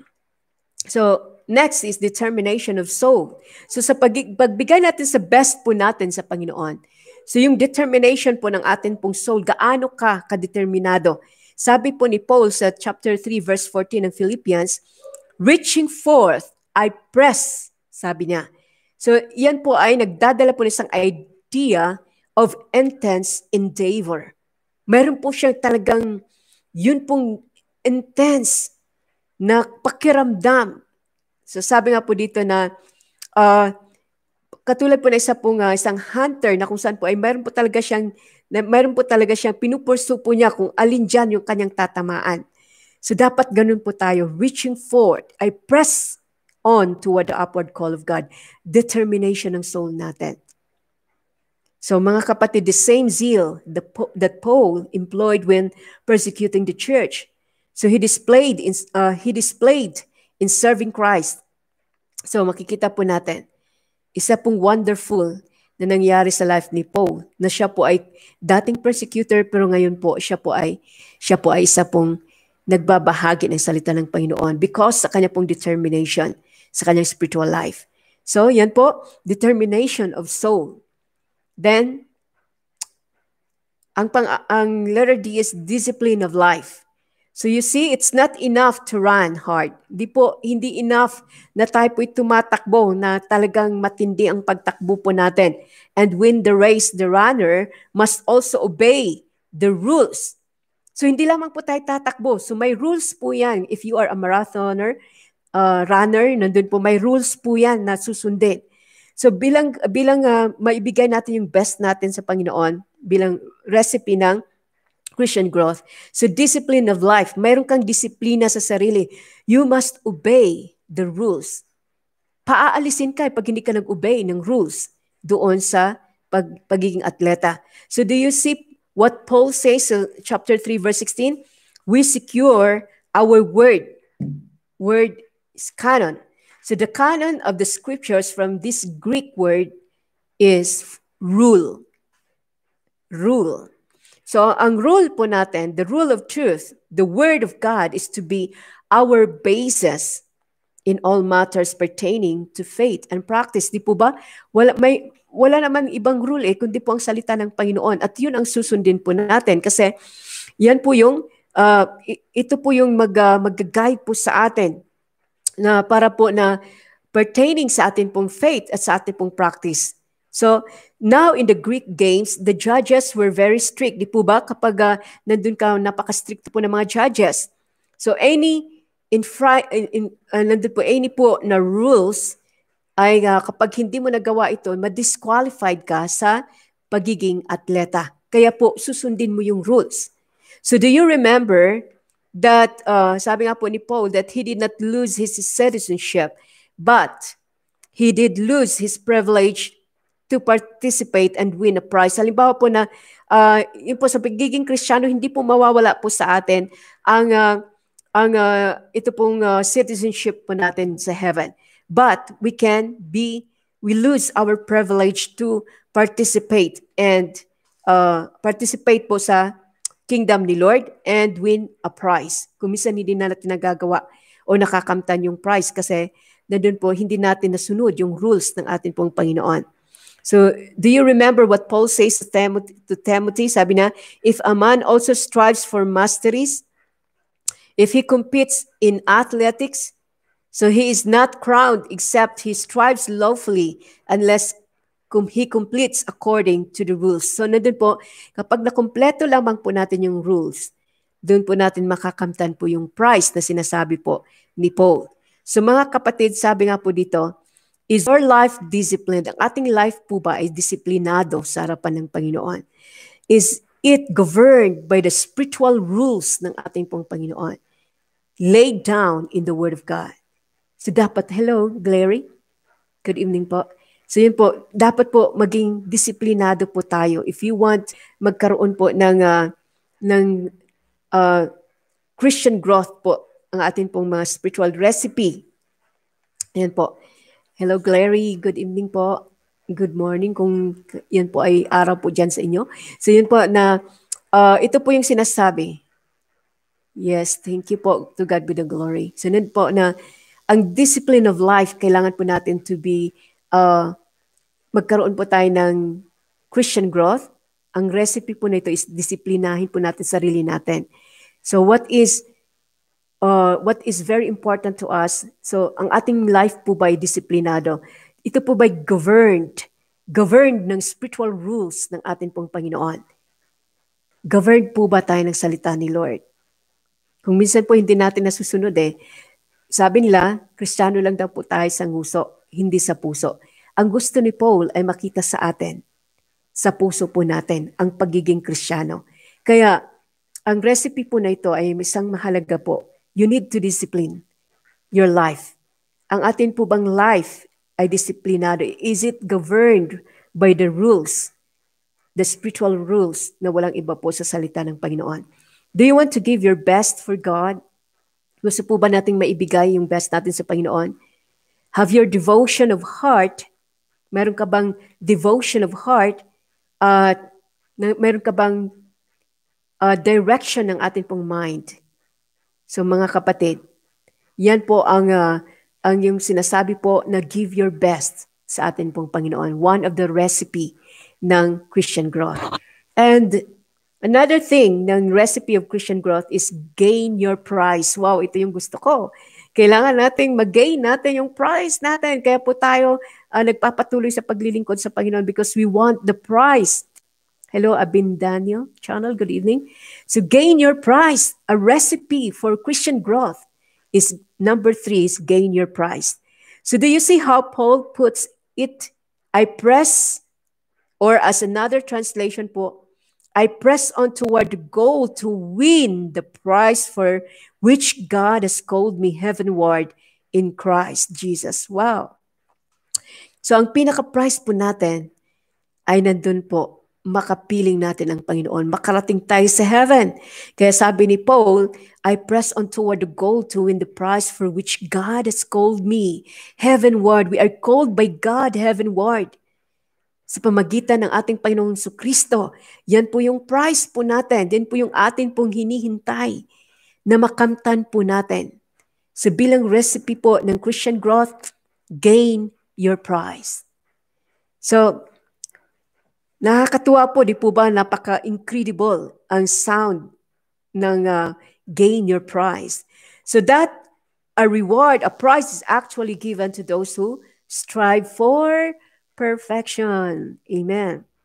So yan po ay bibigay sa mga tao po na nag strive for perfection. Ang prize na yan, naghihintay sa atin. Kaya wag po tayong tumigil na idisiplina yung ating sarili po sa pamagitan po ng mga rules spiritual rules po ng Biblia.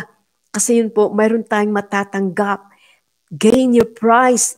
Sabi nga po dito ni Paul na heavenward. Called me heavenward. Tagalangit po tayo.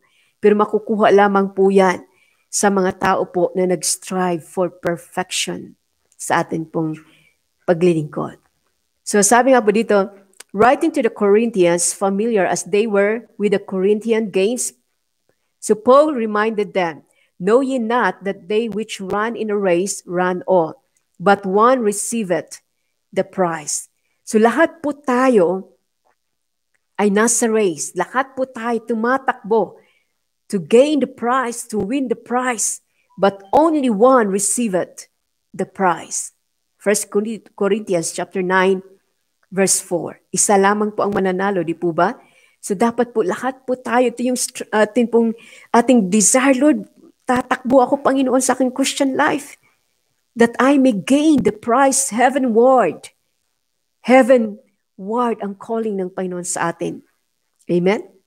So si Paul, so the individual responsibility, every man out to get the prize for himself. Lahat po tayo, wala tayong iba pong tinitingnan, kundi makuha po yon Yung desire natin makuha ang, isang, ang prize.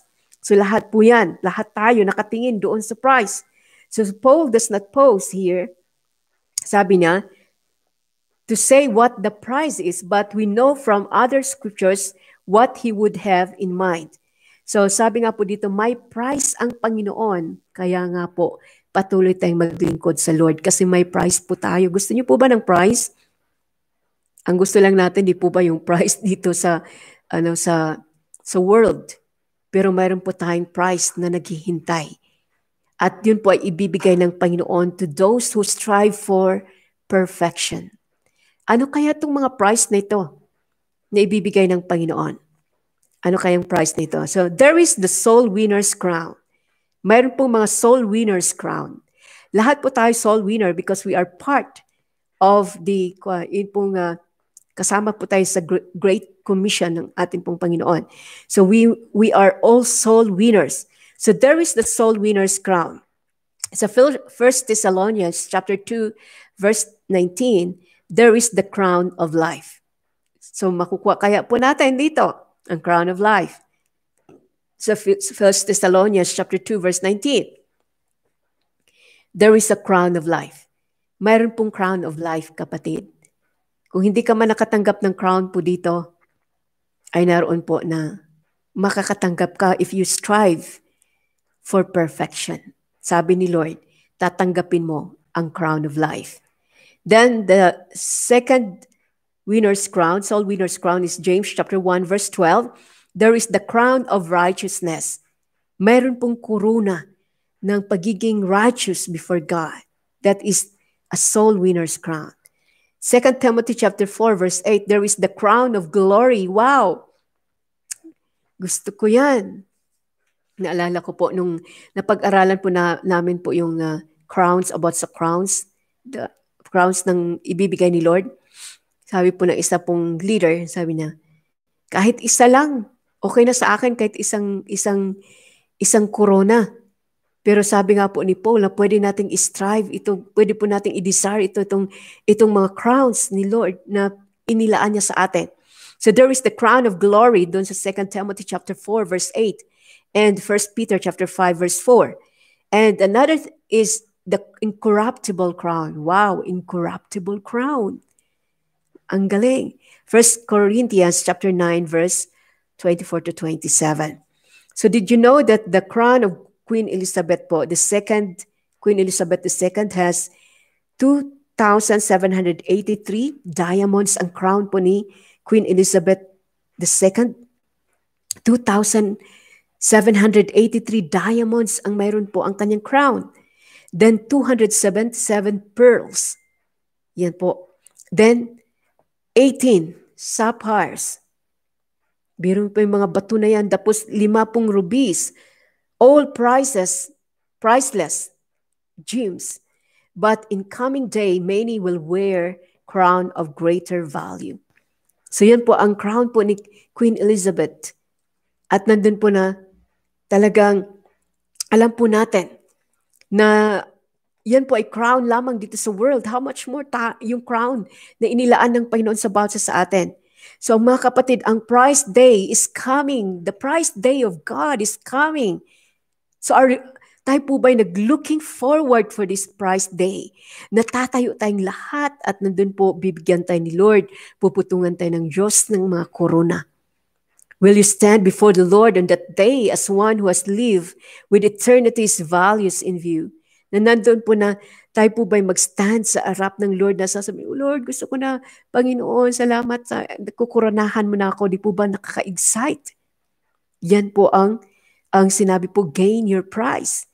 So as one who has striven for, for perfection, ay nandun po, you will gain the prize. You were the race, you were in the race, but you fell behind. So Christian, ay Christian po ay nandun po na kapag nag-fail man tayo, tatayo po tayo. Don't make yourself na ibabagsak ng kaaway. Tumayo po tayo to gain the prize. Ano mang mangyari. Amen? So wag po tayong patalo sa kaaway dahil andyan lang po siya para i-destroy po tayo para hindi po tayo makapagpatuloy, para hindi po natin matanggap yung uh, mga crowns na inilaan ng Panginoon, yung, yung prize na inilaan ng Diyos sa atin. Mga kapatid, one day, bawat sa sa atin will stand before the Lord in the judgment. At nandun po, the Greek word for judgment seat is bema. The very same word used to describe the place where the Olympic judges gave out the prizes. Nandun po na, para po bang ang Bema judgment po ay yung pong bibigyan na ng mga prize ang mga tutuong Kristiyano. So, on that prize giving day, will you hear the master's, ang ating master sabi niya, well done, good and faithful servant. So I press toward the mark, sabi ni Paul. Yan po. So sa pag-gain the prize, ay magkakaroon po tayo. It, it stimulates initiative. Di po ba? Kapag alam po natin may prize, nag stimulate po yan ng initiative sa atin. So the, the fact that there is a crown up there should stimulate us to persevere down here. Di po ba? Dapat ito yung nag-stimulate sa atin. Dahil meron pong crown up there, so ma-stimulate po tayo to persevere dito po sa ating kinalalagyan, down here, dito sa earth. So a recipe for spiritual growth So, nandun po na uh, makikita po natin ng ating pong price ay ipagkakalob ng Diyos. So, mayroon po isang story po dito. Isang wealthy American na siya po yung son of the wealthy American na nag-graduate po from the uh, Yale U- University and decided to go out to China as a missionary for the Lord. Isang anak po ng mayaman. So nag-decide po siya to go out para po mag-serve kay Lord sa China as a missionary. So ang kanya pong pangalan si William Borden.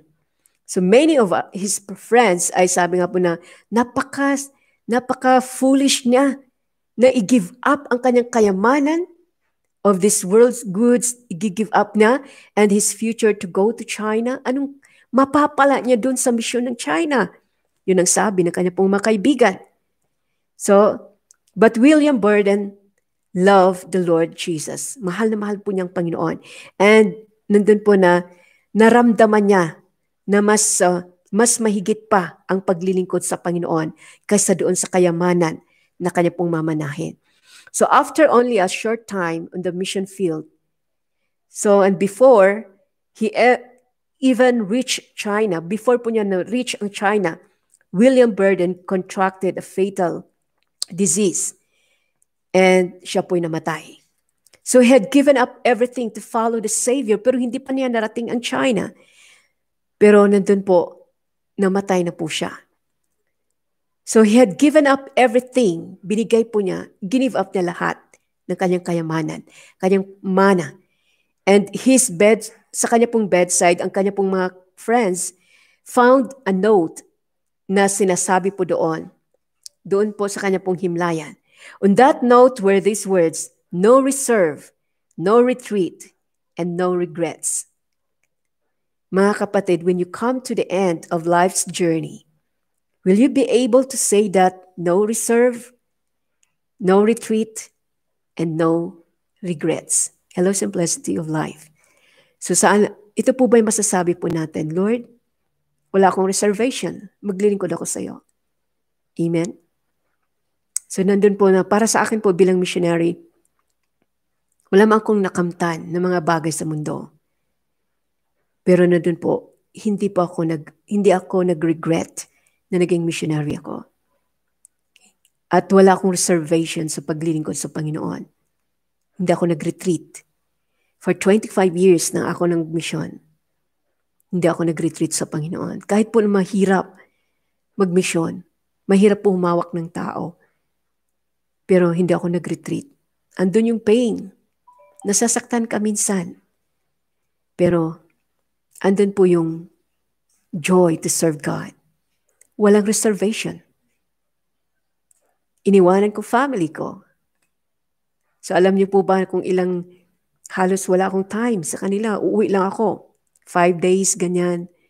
Then, balik ulit sa mission. Ganun lang yung life ko. Or minsan, makauwi lamang ako ng uh, three times a year sa family. And then, ilang days lang yun. Sa three days lang, balik ulit sa mission. So, yan po ay, wala akong reservation. Even though na namimiss ko yung family ko, pero wala akong magawa. I was called by God for a mission. Hindi ako nag hindi ako nag-retreat. Hello, cooking, D shocking. Hello, good evening. So I'd never retreat in serving the Lord until now. Thank God. Pre-serve ako ng Panginoon. And I strive. I press on toward the mark of the upward call of God. At hindi ako nag-regret na ako naging missionary.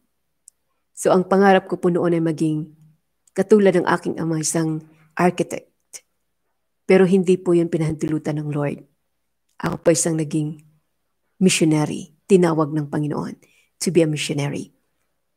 At yan mga kapatid, when you come to the end of life's journey, will you be able to say, no reserve, no regret, no retreat sa paglilingkod sa Panginoon? Amen?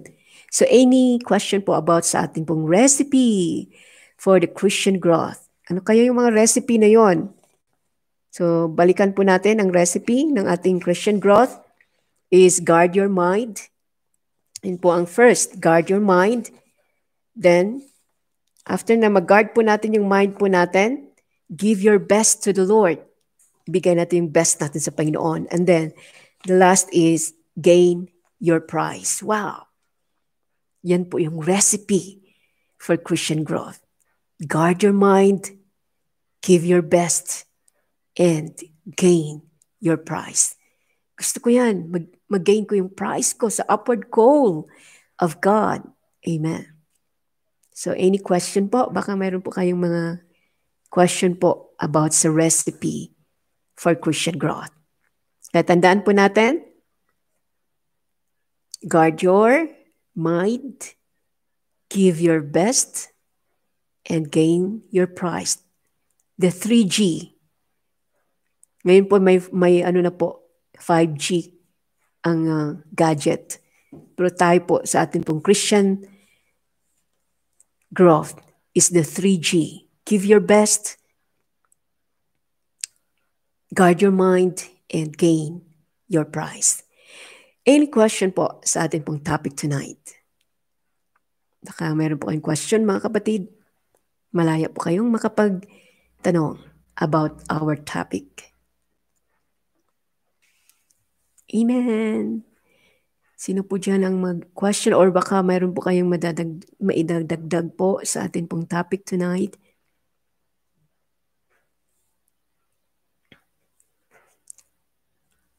Amen. Hindi ko po alam kung ilan na pong crown na mayroon po ako.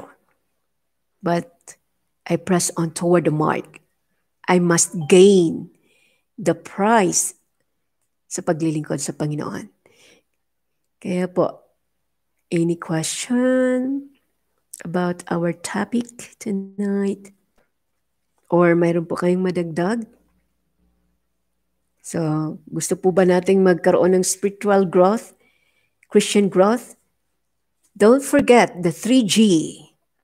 Guard your mind give your best and gain the prize. Yan po, lagi niyo pong tandaan yan.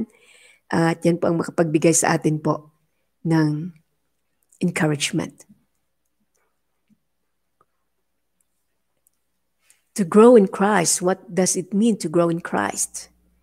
Sa pag-grow sa Panginoon ay yun po yung ano, yung yung yung character ni Lord ay ma-create po sa atin dapat. So, so what does it mean to grow in Christ? So it means to increase your knowledge. Increase natin yung knowledge natin sa Panginoon and become more constant in your love for Him and your obedience. So kapag po tayo po ay gusto po natin na mag-grow sa Panginoon, so we must increase our knowledge. Kaya ito yung ginagawa po natin, we are increasing our knowledge sa atin pong Panginoon. So nag-increase po yung ating knowledge the more na tayo nakakapakinig ng salita ng Panginoon, nag increase po yung knowledge po natin. And uh, yung ating love sa Panginoon, the more na magiging, uh, yung po bang mahal na mahal mo ang Panginoon, the more mo siyang mamahalin. At sa pamagitan ng pagmamahal po na yon, nauubay mo ang Panginoon. Nag-obey ka sa Lord.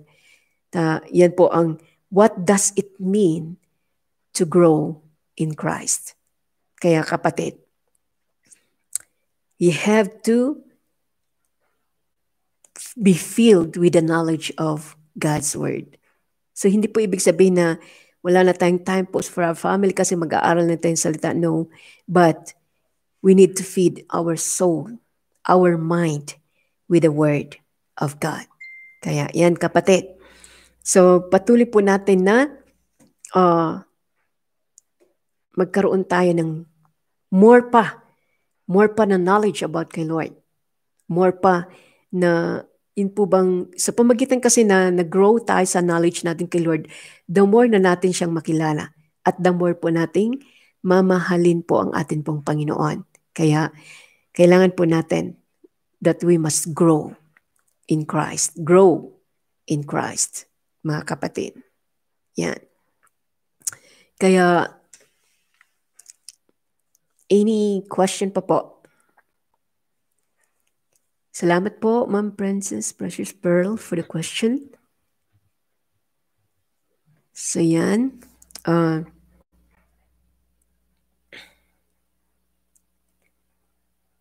so, anong gagawin po natin para tayo mag-grow sa atin pong atin pong Panginoon, mag-grow bilang Kristiyano. So, go to God in prayer daily. So, wag po natin kalimutan po ang uh, na palagi pong manalangin kasi si Jesus, even Jesus ay lagi po siyang nananalangin. So go to God in prayer. If you remain in me, sabi niya sa John chapter 15 verse 7, that if you remain in me and my words remain in you, ask whatever you will and it will be given to you. So nandun po na through prayer, mag-grow tayo sa Panginoon. Go to God in prayer. Lagi po tayong humingi sa Panginoon. Lagi po tayong manalangin sa Diyos. Then, read God's Word daily. So basahin natin ang salita ni Lord. Hindi ibig sabihin po na hindi na tayo titigil, kundi po, halimbawa pagbangon natin, magbasa tayo ng Word ni Lord, mag-meditate tayo ng Word ni Lord, and then bago po tayo matulog, mag-meditate ulit, mag-meditate ulit ng Word ni Lord. So nandun po na talagang makikita po natin that we need na magbasa po ng salita ng Lord daily. So sabi nga po dun sa Acts 17 verse 11, uh, Now the Bereans were of more noble character than the Thessalonians, for they received the message with great eagerness and examined the scriptures every day to see if what Paul said was true. So nandun po na, for they received the message and then with a great eagerness and examined the scriptures every day. Pero niyo po yan, inaral nila ang salita ng Panginoon. Uptown, God is good evening. So yan po, inaral nila po ang salita po ng Panginoon. And begin with the Gospel of John. John. Pag nagbasa ka po ng salita ng Lord, so mag-umpisa po kayo sa Gospel of John. Sabi doon sa John 14 verse 21, begin with the uh, obey God moment by moment. Whoever has my commandments, uh, my commands and obeys them, he is the one who loves me. He who loves me will be loved by my Father. I too will love him and show myself to him. So yan po, begin with the Gospel of John. Then, witness for Christ by your life and words. Yan po ang maganda. Mag-witness ka sa pamagitan po ng iyo pong life at ng iyo pong words, ng iyo pong pananalita. Mag-witness ka anyone, sabi nga po doon sa Matthew 4:19 that anyone who breaks one of the least of these commandments and teaches others to do the same will be called least in the kingdom of heaven but whoever practices and teaches these commands will be called great in the kingdom. So uh, kung ating pong pinapractice ang ang uh, salita ni Lord na, na ipamuhay po natin, so ikaw po ay nagwi-witness through your life and through your words sa atin pong Panginoon. So this is, sabi doon sa John 15:8, this is to my Father's glory that you bear much fruit, showing yourselves to be my disciples. How can you show that you are God's disciples? Natural sa pamagitan ng bunga ng Espiritu Santo na nasa atin. So, nandun po na, showing yourselves to be the disciples of Jesus. Then, so trust God for every detail of your life. I-trust natin bawat detalye ng buhay po natin. Sabi doon sa 1 Peter chapter 5 verse 7, cast all your anxiety on him for he cares for you. Kaya po, trust God for every detail ng life po natin. I-trust natin sa Panginoon. Kaya nga po mga kapatid, mahalaga po ito na mag-trust po tayo every day sa atin pong Panginoon. Then, Trust the Holy Spirit to direct you and empower your daily life and witness. So we have to trust the Holy Spirit to empower us. Para ma-empower po tayo sa ating daily life at magiging witness po tayo. Sabi doon sa Galatians chapter 5 verse 16 to 17, uh, sinabi po dito, So I say, I live by the Spirit and you will not gratify the desires of the sinful nature, for the sinful nature desires what is contrary to the spirit and the spirit what is contrary to the sinful nature. So they they are in conflict with each other so that you do not do what you want. Yan, so kita po natin trust the Holy Spirit to direct you and empower your daily life. Kasi nandun po na uh, minsan po yung ating old nature ay nananagana pa rin sa atin kung minsan bumabangon pa rin eh. So kaya nga po, we need to trust the Holy Spirit na ma-empower yung ating daily life. Maging witness po tayo na makitaan po tayo ng character ni Kristo. Yan.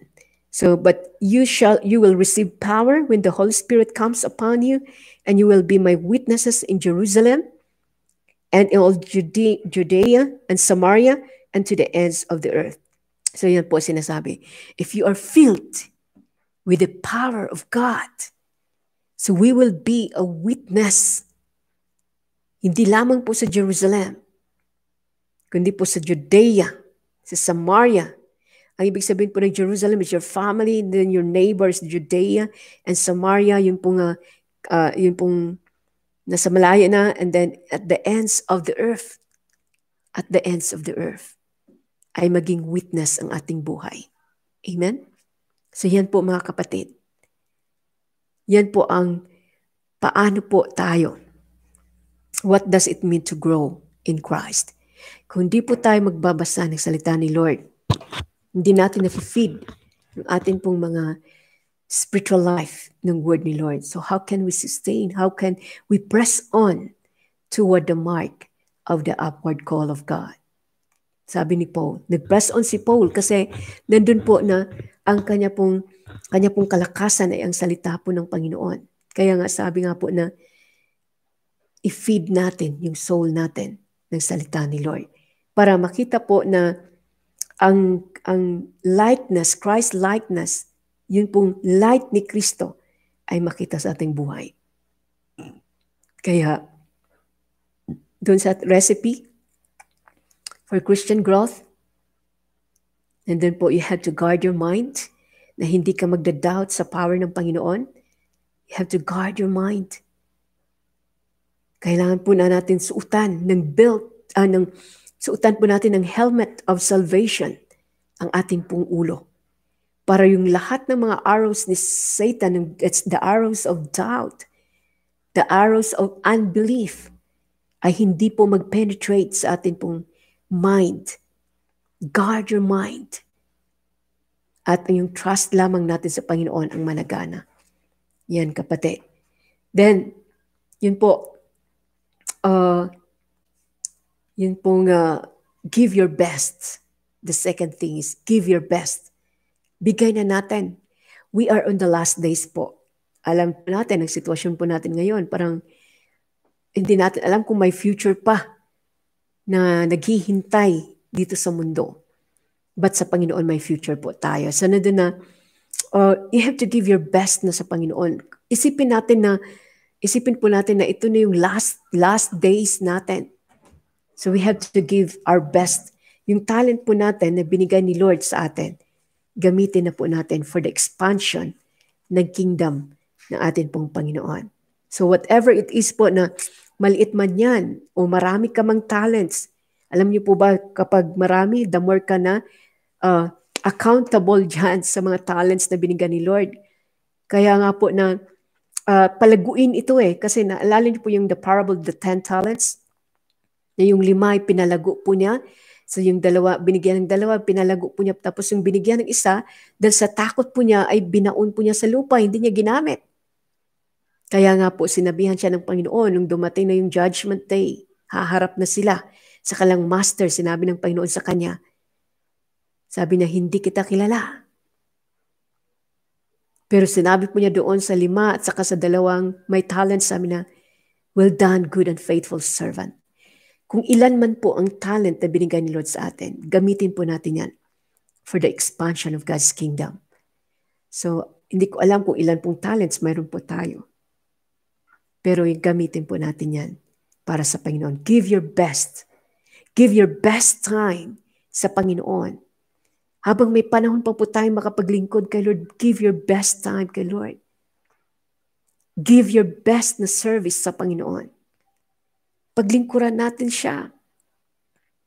Kasi wala nang time. So habang po na nandun po na mayroon pa tayong oras po na gawin po yan, gawin na po natin. Give your best na service kay Lord. Yan. Then, give. Gain the prize. So dahil po nagling, we give our best to the Lord, yung ating service sa Panginoon, at lahat po ng atin pong pagpapagal ay hindi po yan nawawala ng kabuluhan sa atin pong Panginoon.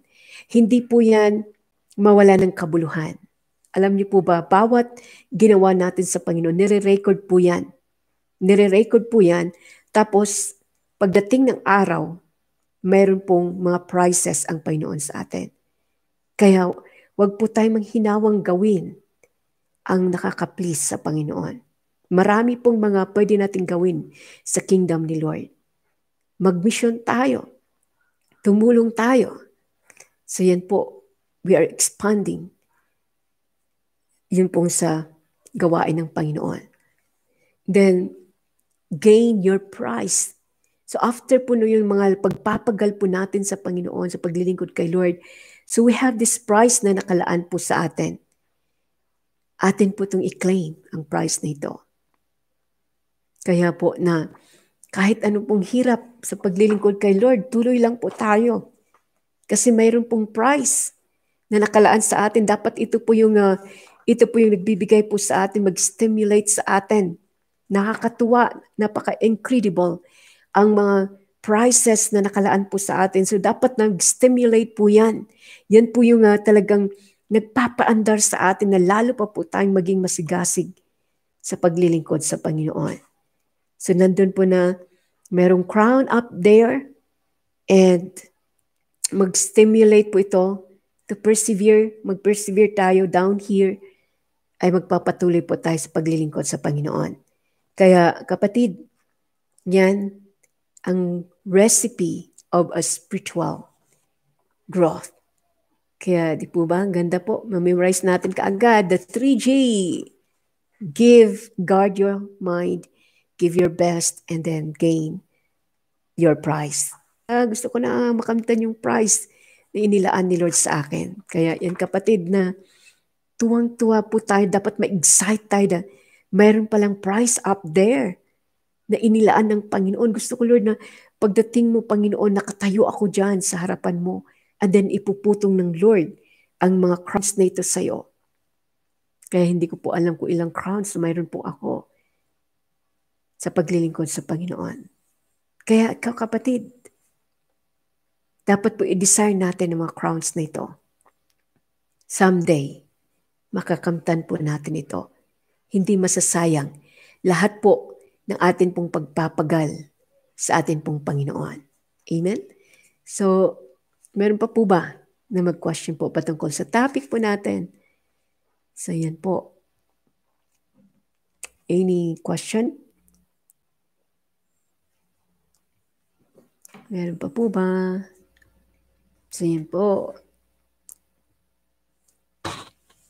So, dapat po yung atin pong yung mga crowns na yun mag-stimulate sa atin that someday, wow, Lord, ma-receive, ma-receive ko yan, Panginoon, yung prizes.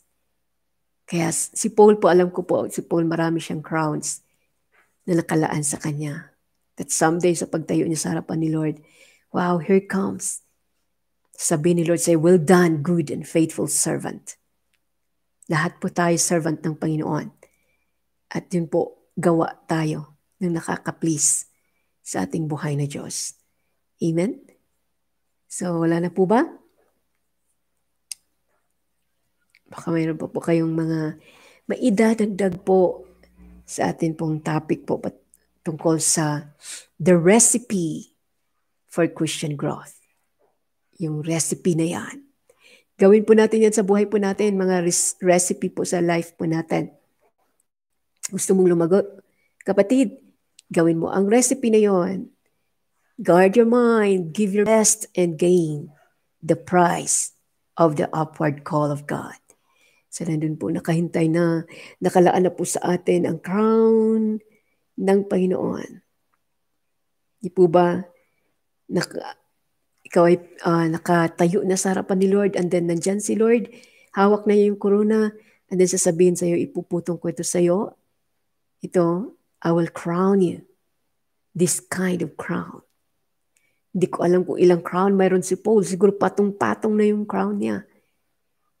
Pero sa atin po, tuloy lang po tayo that we can gain the price of the upward call of God. Amen? So yan po. So ang acronym po, ang acronym ng growth, bago ko po, bago po ako magtapos. So ang acronym po ng growth is go, G is go to God in prayer daily. John 15:7. Go to God in prayer. That is G, go to God in prayer. Then R, read the Bible daily. So atin pong basahin ang salita ni Lord daily. Pag may time po tayo nandun na i-feed natin yung soul natin. Read the Bible daily. That is R. Then, the O, ang O po ay obey God moment by moment. Wow! We must obey God moment by moment. I-obey natin ang Panginoon kahit po na nandun parang ang hirap nun eh. Pero we have to obey God moment by moment, Lord, narito ako, Panginoon, mag-uubay ako sa iyo. John chapter 14, verse 21. Yan po yung sinabi sa John 14, 21. W is witness for Christ by your life. We must witness for Christ. Mag-witness po tayo. Witness for Christ by your life and your words. Sa pamagitan po ng ating pong buhay at sa pamagitan ng ating pananalita, we must witness for Christ. Wow. Ta, yan po ang W, witness for Christ by your life and your words. Sa Matthew chapter 4, verse 19 po yan. Saka John 15, verse 8. So we must witness for Christ. Saan man tayo pa, paroroon, pupunta man tayo kung saan saan. So we have to witness para makapagdala po tayo ng kaluluwa sa Panginoon. Then, T is trust God for every detail of your life. We must trust God sa bawat detalye ng buhay po natin. 1 Peter chapter 5 verse 7, casting all your cares upon him for he careth for you. So T is trust God for every detail sa life mo.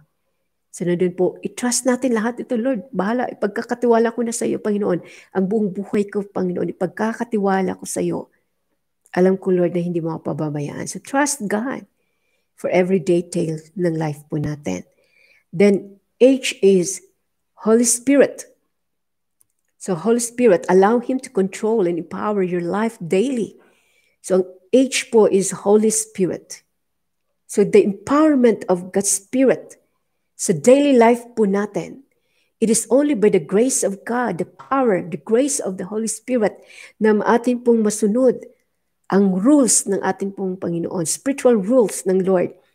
So, nandun po, i-allow natin siya to control. I-control po tayo. Kasi pag ating pong flesh ang nag-control sa atin, magkakasala po tayo lagi. So, kaya nga po, i-allow natin siya i-allow natin ang banal na Espiritu to empower us, empower our daily life. Siya po yung magbibigay sa atin ng kalakasan, panagumpayan, lahat po na nakalaan, nakaharang sa ating pong paglilingkod sa Panginoon. Kaya, allow Him to control and empower your daily life. Galatians 5, 16 to 17. So, i-allow po natin ang banal na Espiritu na kumilos sa ating pong buhay. Kaya yan kapatid, ang, ang acronym ng growth, go to God in prayer. Huwag mong kaligtaan na manalangin sa Panginoon. Umaga't gabi, huwag tayo pong kalimot na makipag-commune sa Panginoon. Kasi sa pamagitan ng communication natin kay Lord, the more natin makilala o maramdaman, maranasan ang kapangyarihan ng ating pong Panginoon. Then go read the Bible daily. Andun po na basahin po natin salita ni Lord. Kahit man lang po one chapter a day. Sa, sa, sa, sa umaga, then one chapter ulit. Sa gabi, wow, maganda po yan. May mga, may mga pwede po nating sundan po ng mga Bible reading. Then po, we have to read the Bible daily sa life po natin. Feed. I-feed natin ang ating spirit para maging malusog po siya maging strong and courageous ang ating spirit. Read the Word of God. Huwag nating kaligtaan. So magka, magkakambal po yan prayer and reading the Bible. So wag po natin kaligtaan yan. Then, after po na tayo po nagbasa ng salita ng Lord, hindi na lang po na itakpan na lang po natin yung salita na natin pong nabasa, kundi po, you have to obey. Ano kaya dito ang instruction ni Lord? I need to obey. Anong sinasabi ni Lord dito sa, sa text na ito, dito sa chapter na ito? Anong instruction ng Panginoon? Then you must obey the instruction of God, the spiritual rules ng ating buhay na Panginoon. Then, witness for Christ by your life. So kung hindi man po tayo, uh, na, naaral po natin how to witness people, even sa buhay po natin, we can witness Christ sa pamagitan ng life natin na naroon po makakitaan tayo. Sabihin ng ating mga kapitbahay, ng ating kapamilya, ano mayroon ka? Bakit ganyan ka? Bakit napaka, napaka bait mong tao? Kasi makikita, witness for Christ by your life. Mag-witness po tayo para kay Kristo. Amen? Then, trust. Trust God for every detail ng life mo.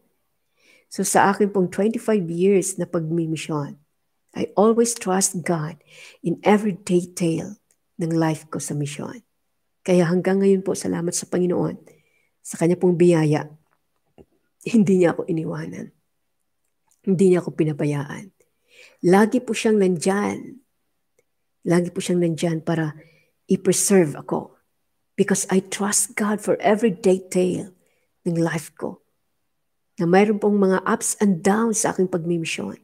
Mayroon pong mga hirap, mga sakripisyo sa pagmimisyon. But I trust God for every detail ng life ko. Kaya ganun din po sa inyo kapatid. I-trust po natin ang Panginoon. Ano man pong kalagayan ng buhay po natin, we must trust God sa buhay po natin. Then, Holy Spirit, allow the Holy Spirit to empower us, to control. Ibig sabihin, control ka ng banal na Espiritu. Na kahit nandun yung galit, i-control ka ng Panginoon. Ops, ops, ops, sandali lang. Ikukontrol ka ng banal na Espiritu. Iingatan ka niya para hindi ka magkasala. He will empower you sa lahat ng tentasyon, sa lahat ng kasalanan, at sa iyong pong buhay pang araw-araw andun po yung control ng banal na Espiritu. Kasi hindi natin maiwasan kung minsan sa sitwasyon po natin everyday, di po ba may mga challenges na ating hinaharap. But if we have the power of the Holy Spirit, He will control bawat sa sa atin. Yan. Kaya magandang gabi po sa bawat sa inyo at salamat po sa inyo pong pandinig. Nawa po ay uh, kayo po ay nabusog sa salita ng Panginoon sa ating pong topic uh, yun pong topic po natin na the recipe of Christian growth. Yan. Salamat po at magandang gabi po sa inyong lahat. God bless po at paalam. So hanggang sa muli po nating pagkikita po muli sa ating pong pag-aaral muli ng salita ni Lord. Kaya salamat po. Good night po sa inyong lahat. At ingatan kayo ng Panginoon. Dalangin ko na kayo po iingatan ng Lord sa inyo pong pamamahinga o sa inyo pong pagtatrabaho man ngayon. Kaya God bless sa bawat isa. Thank you po.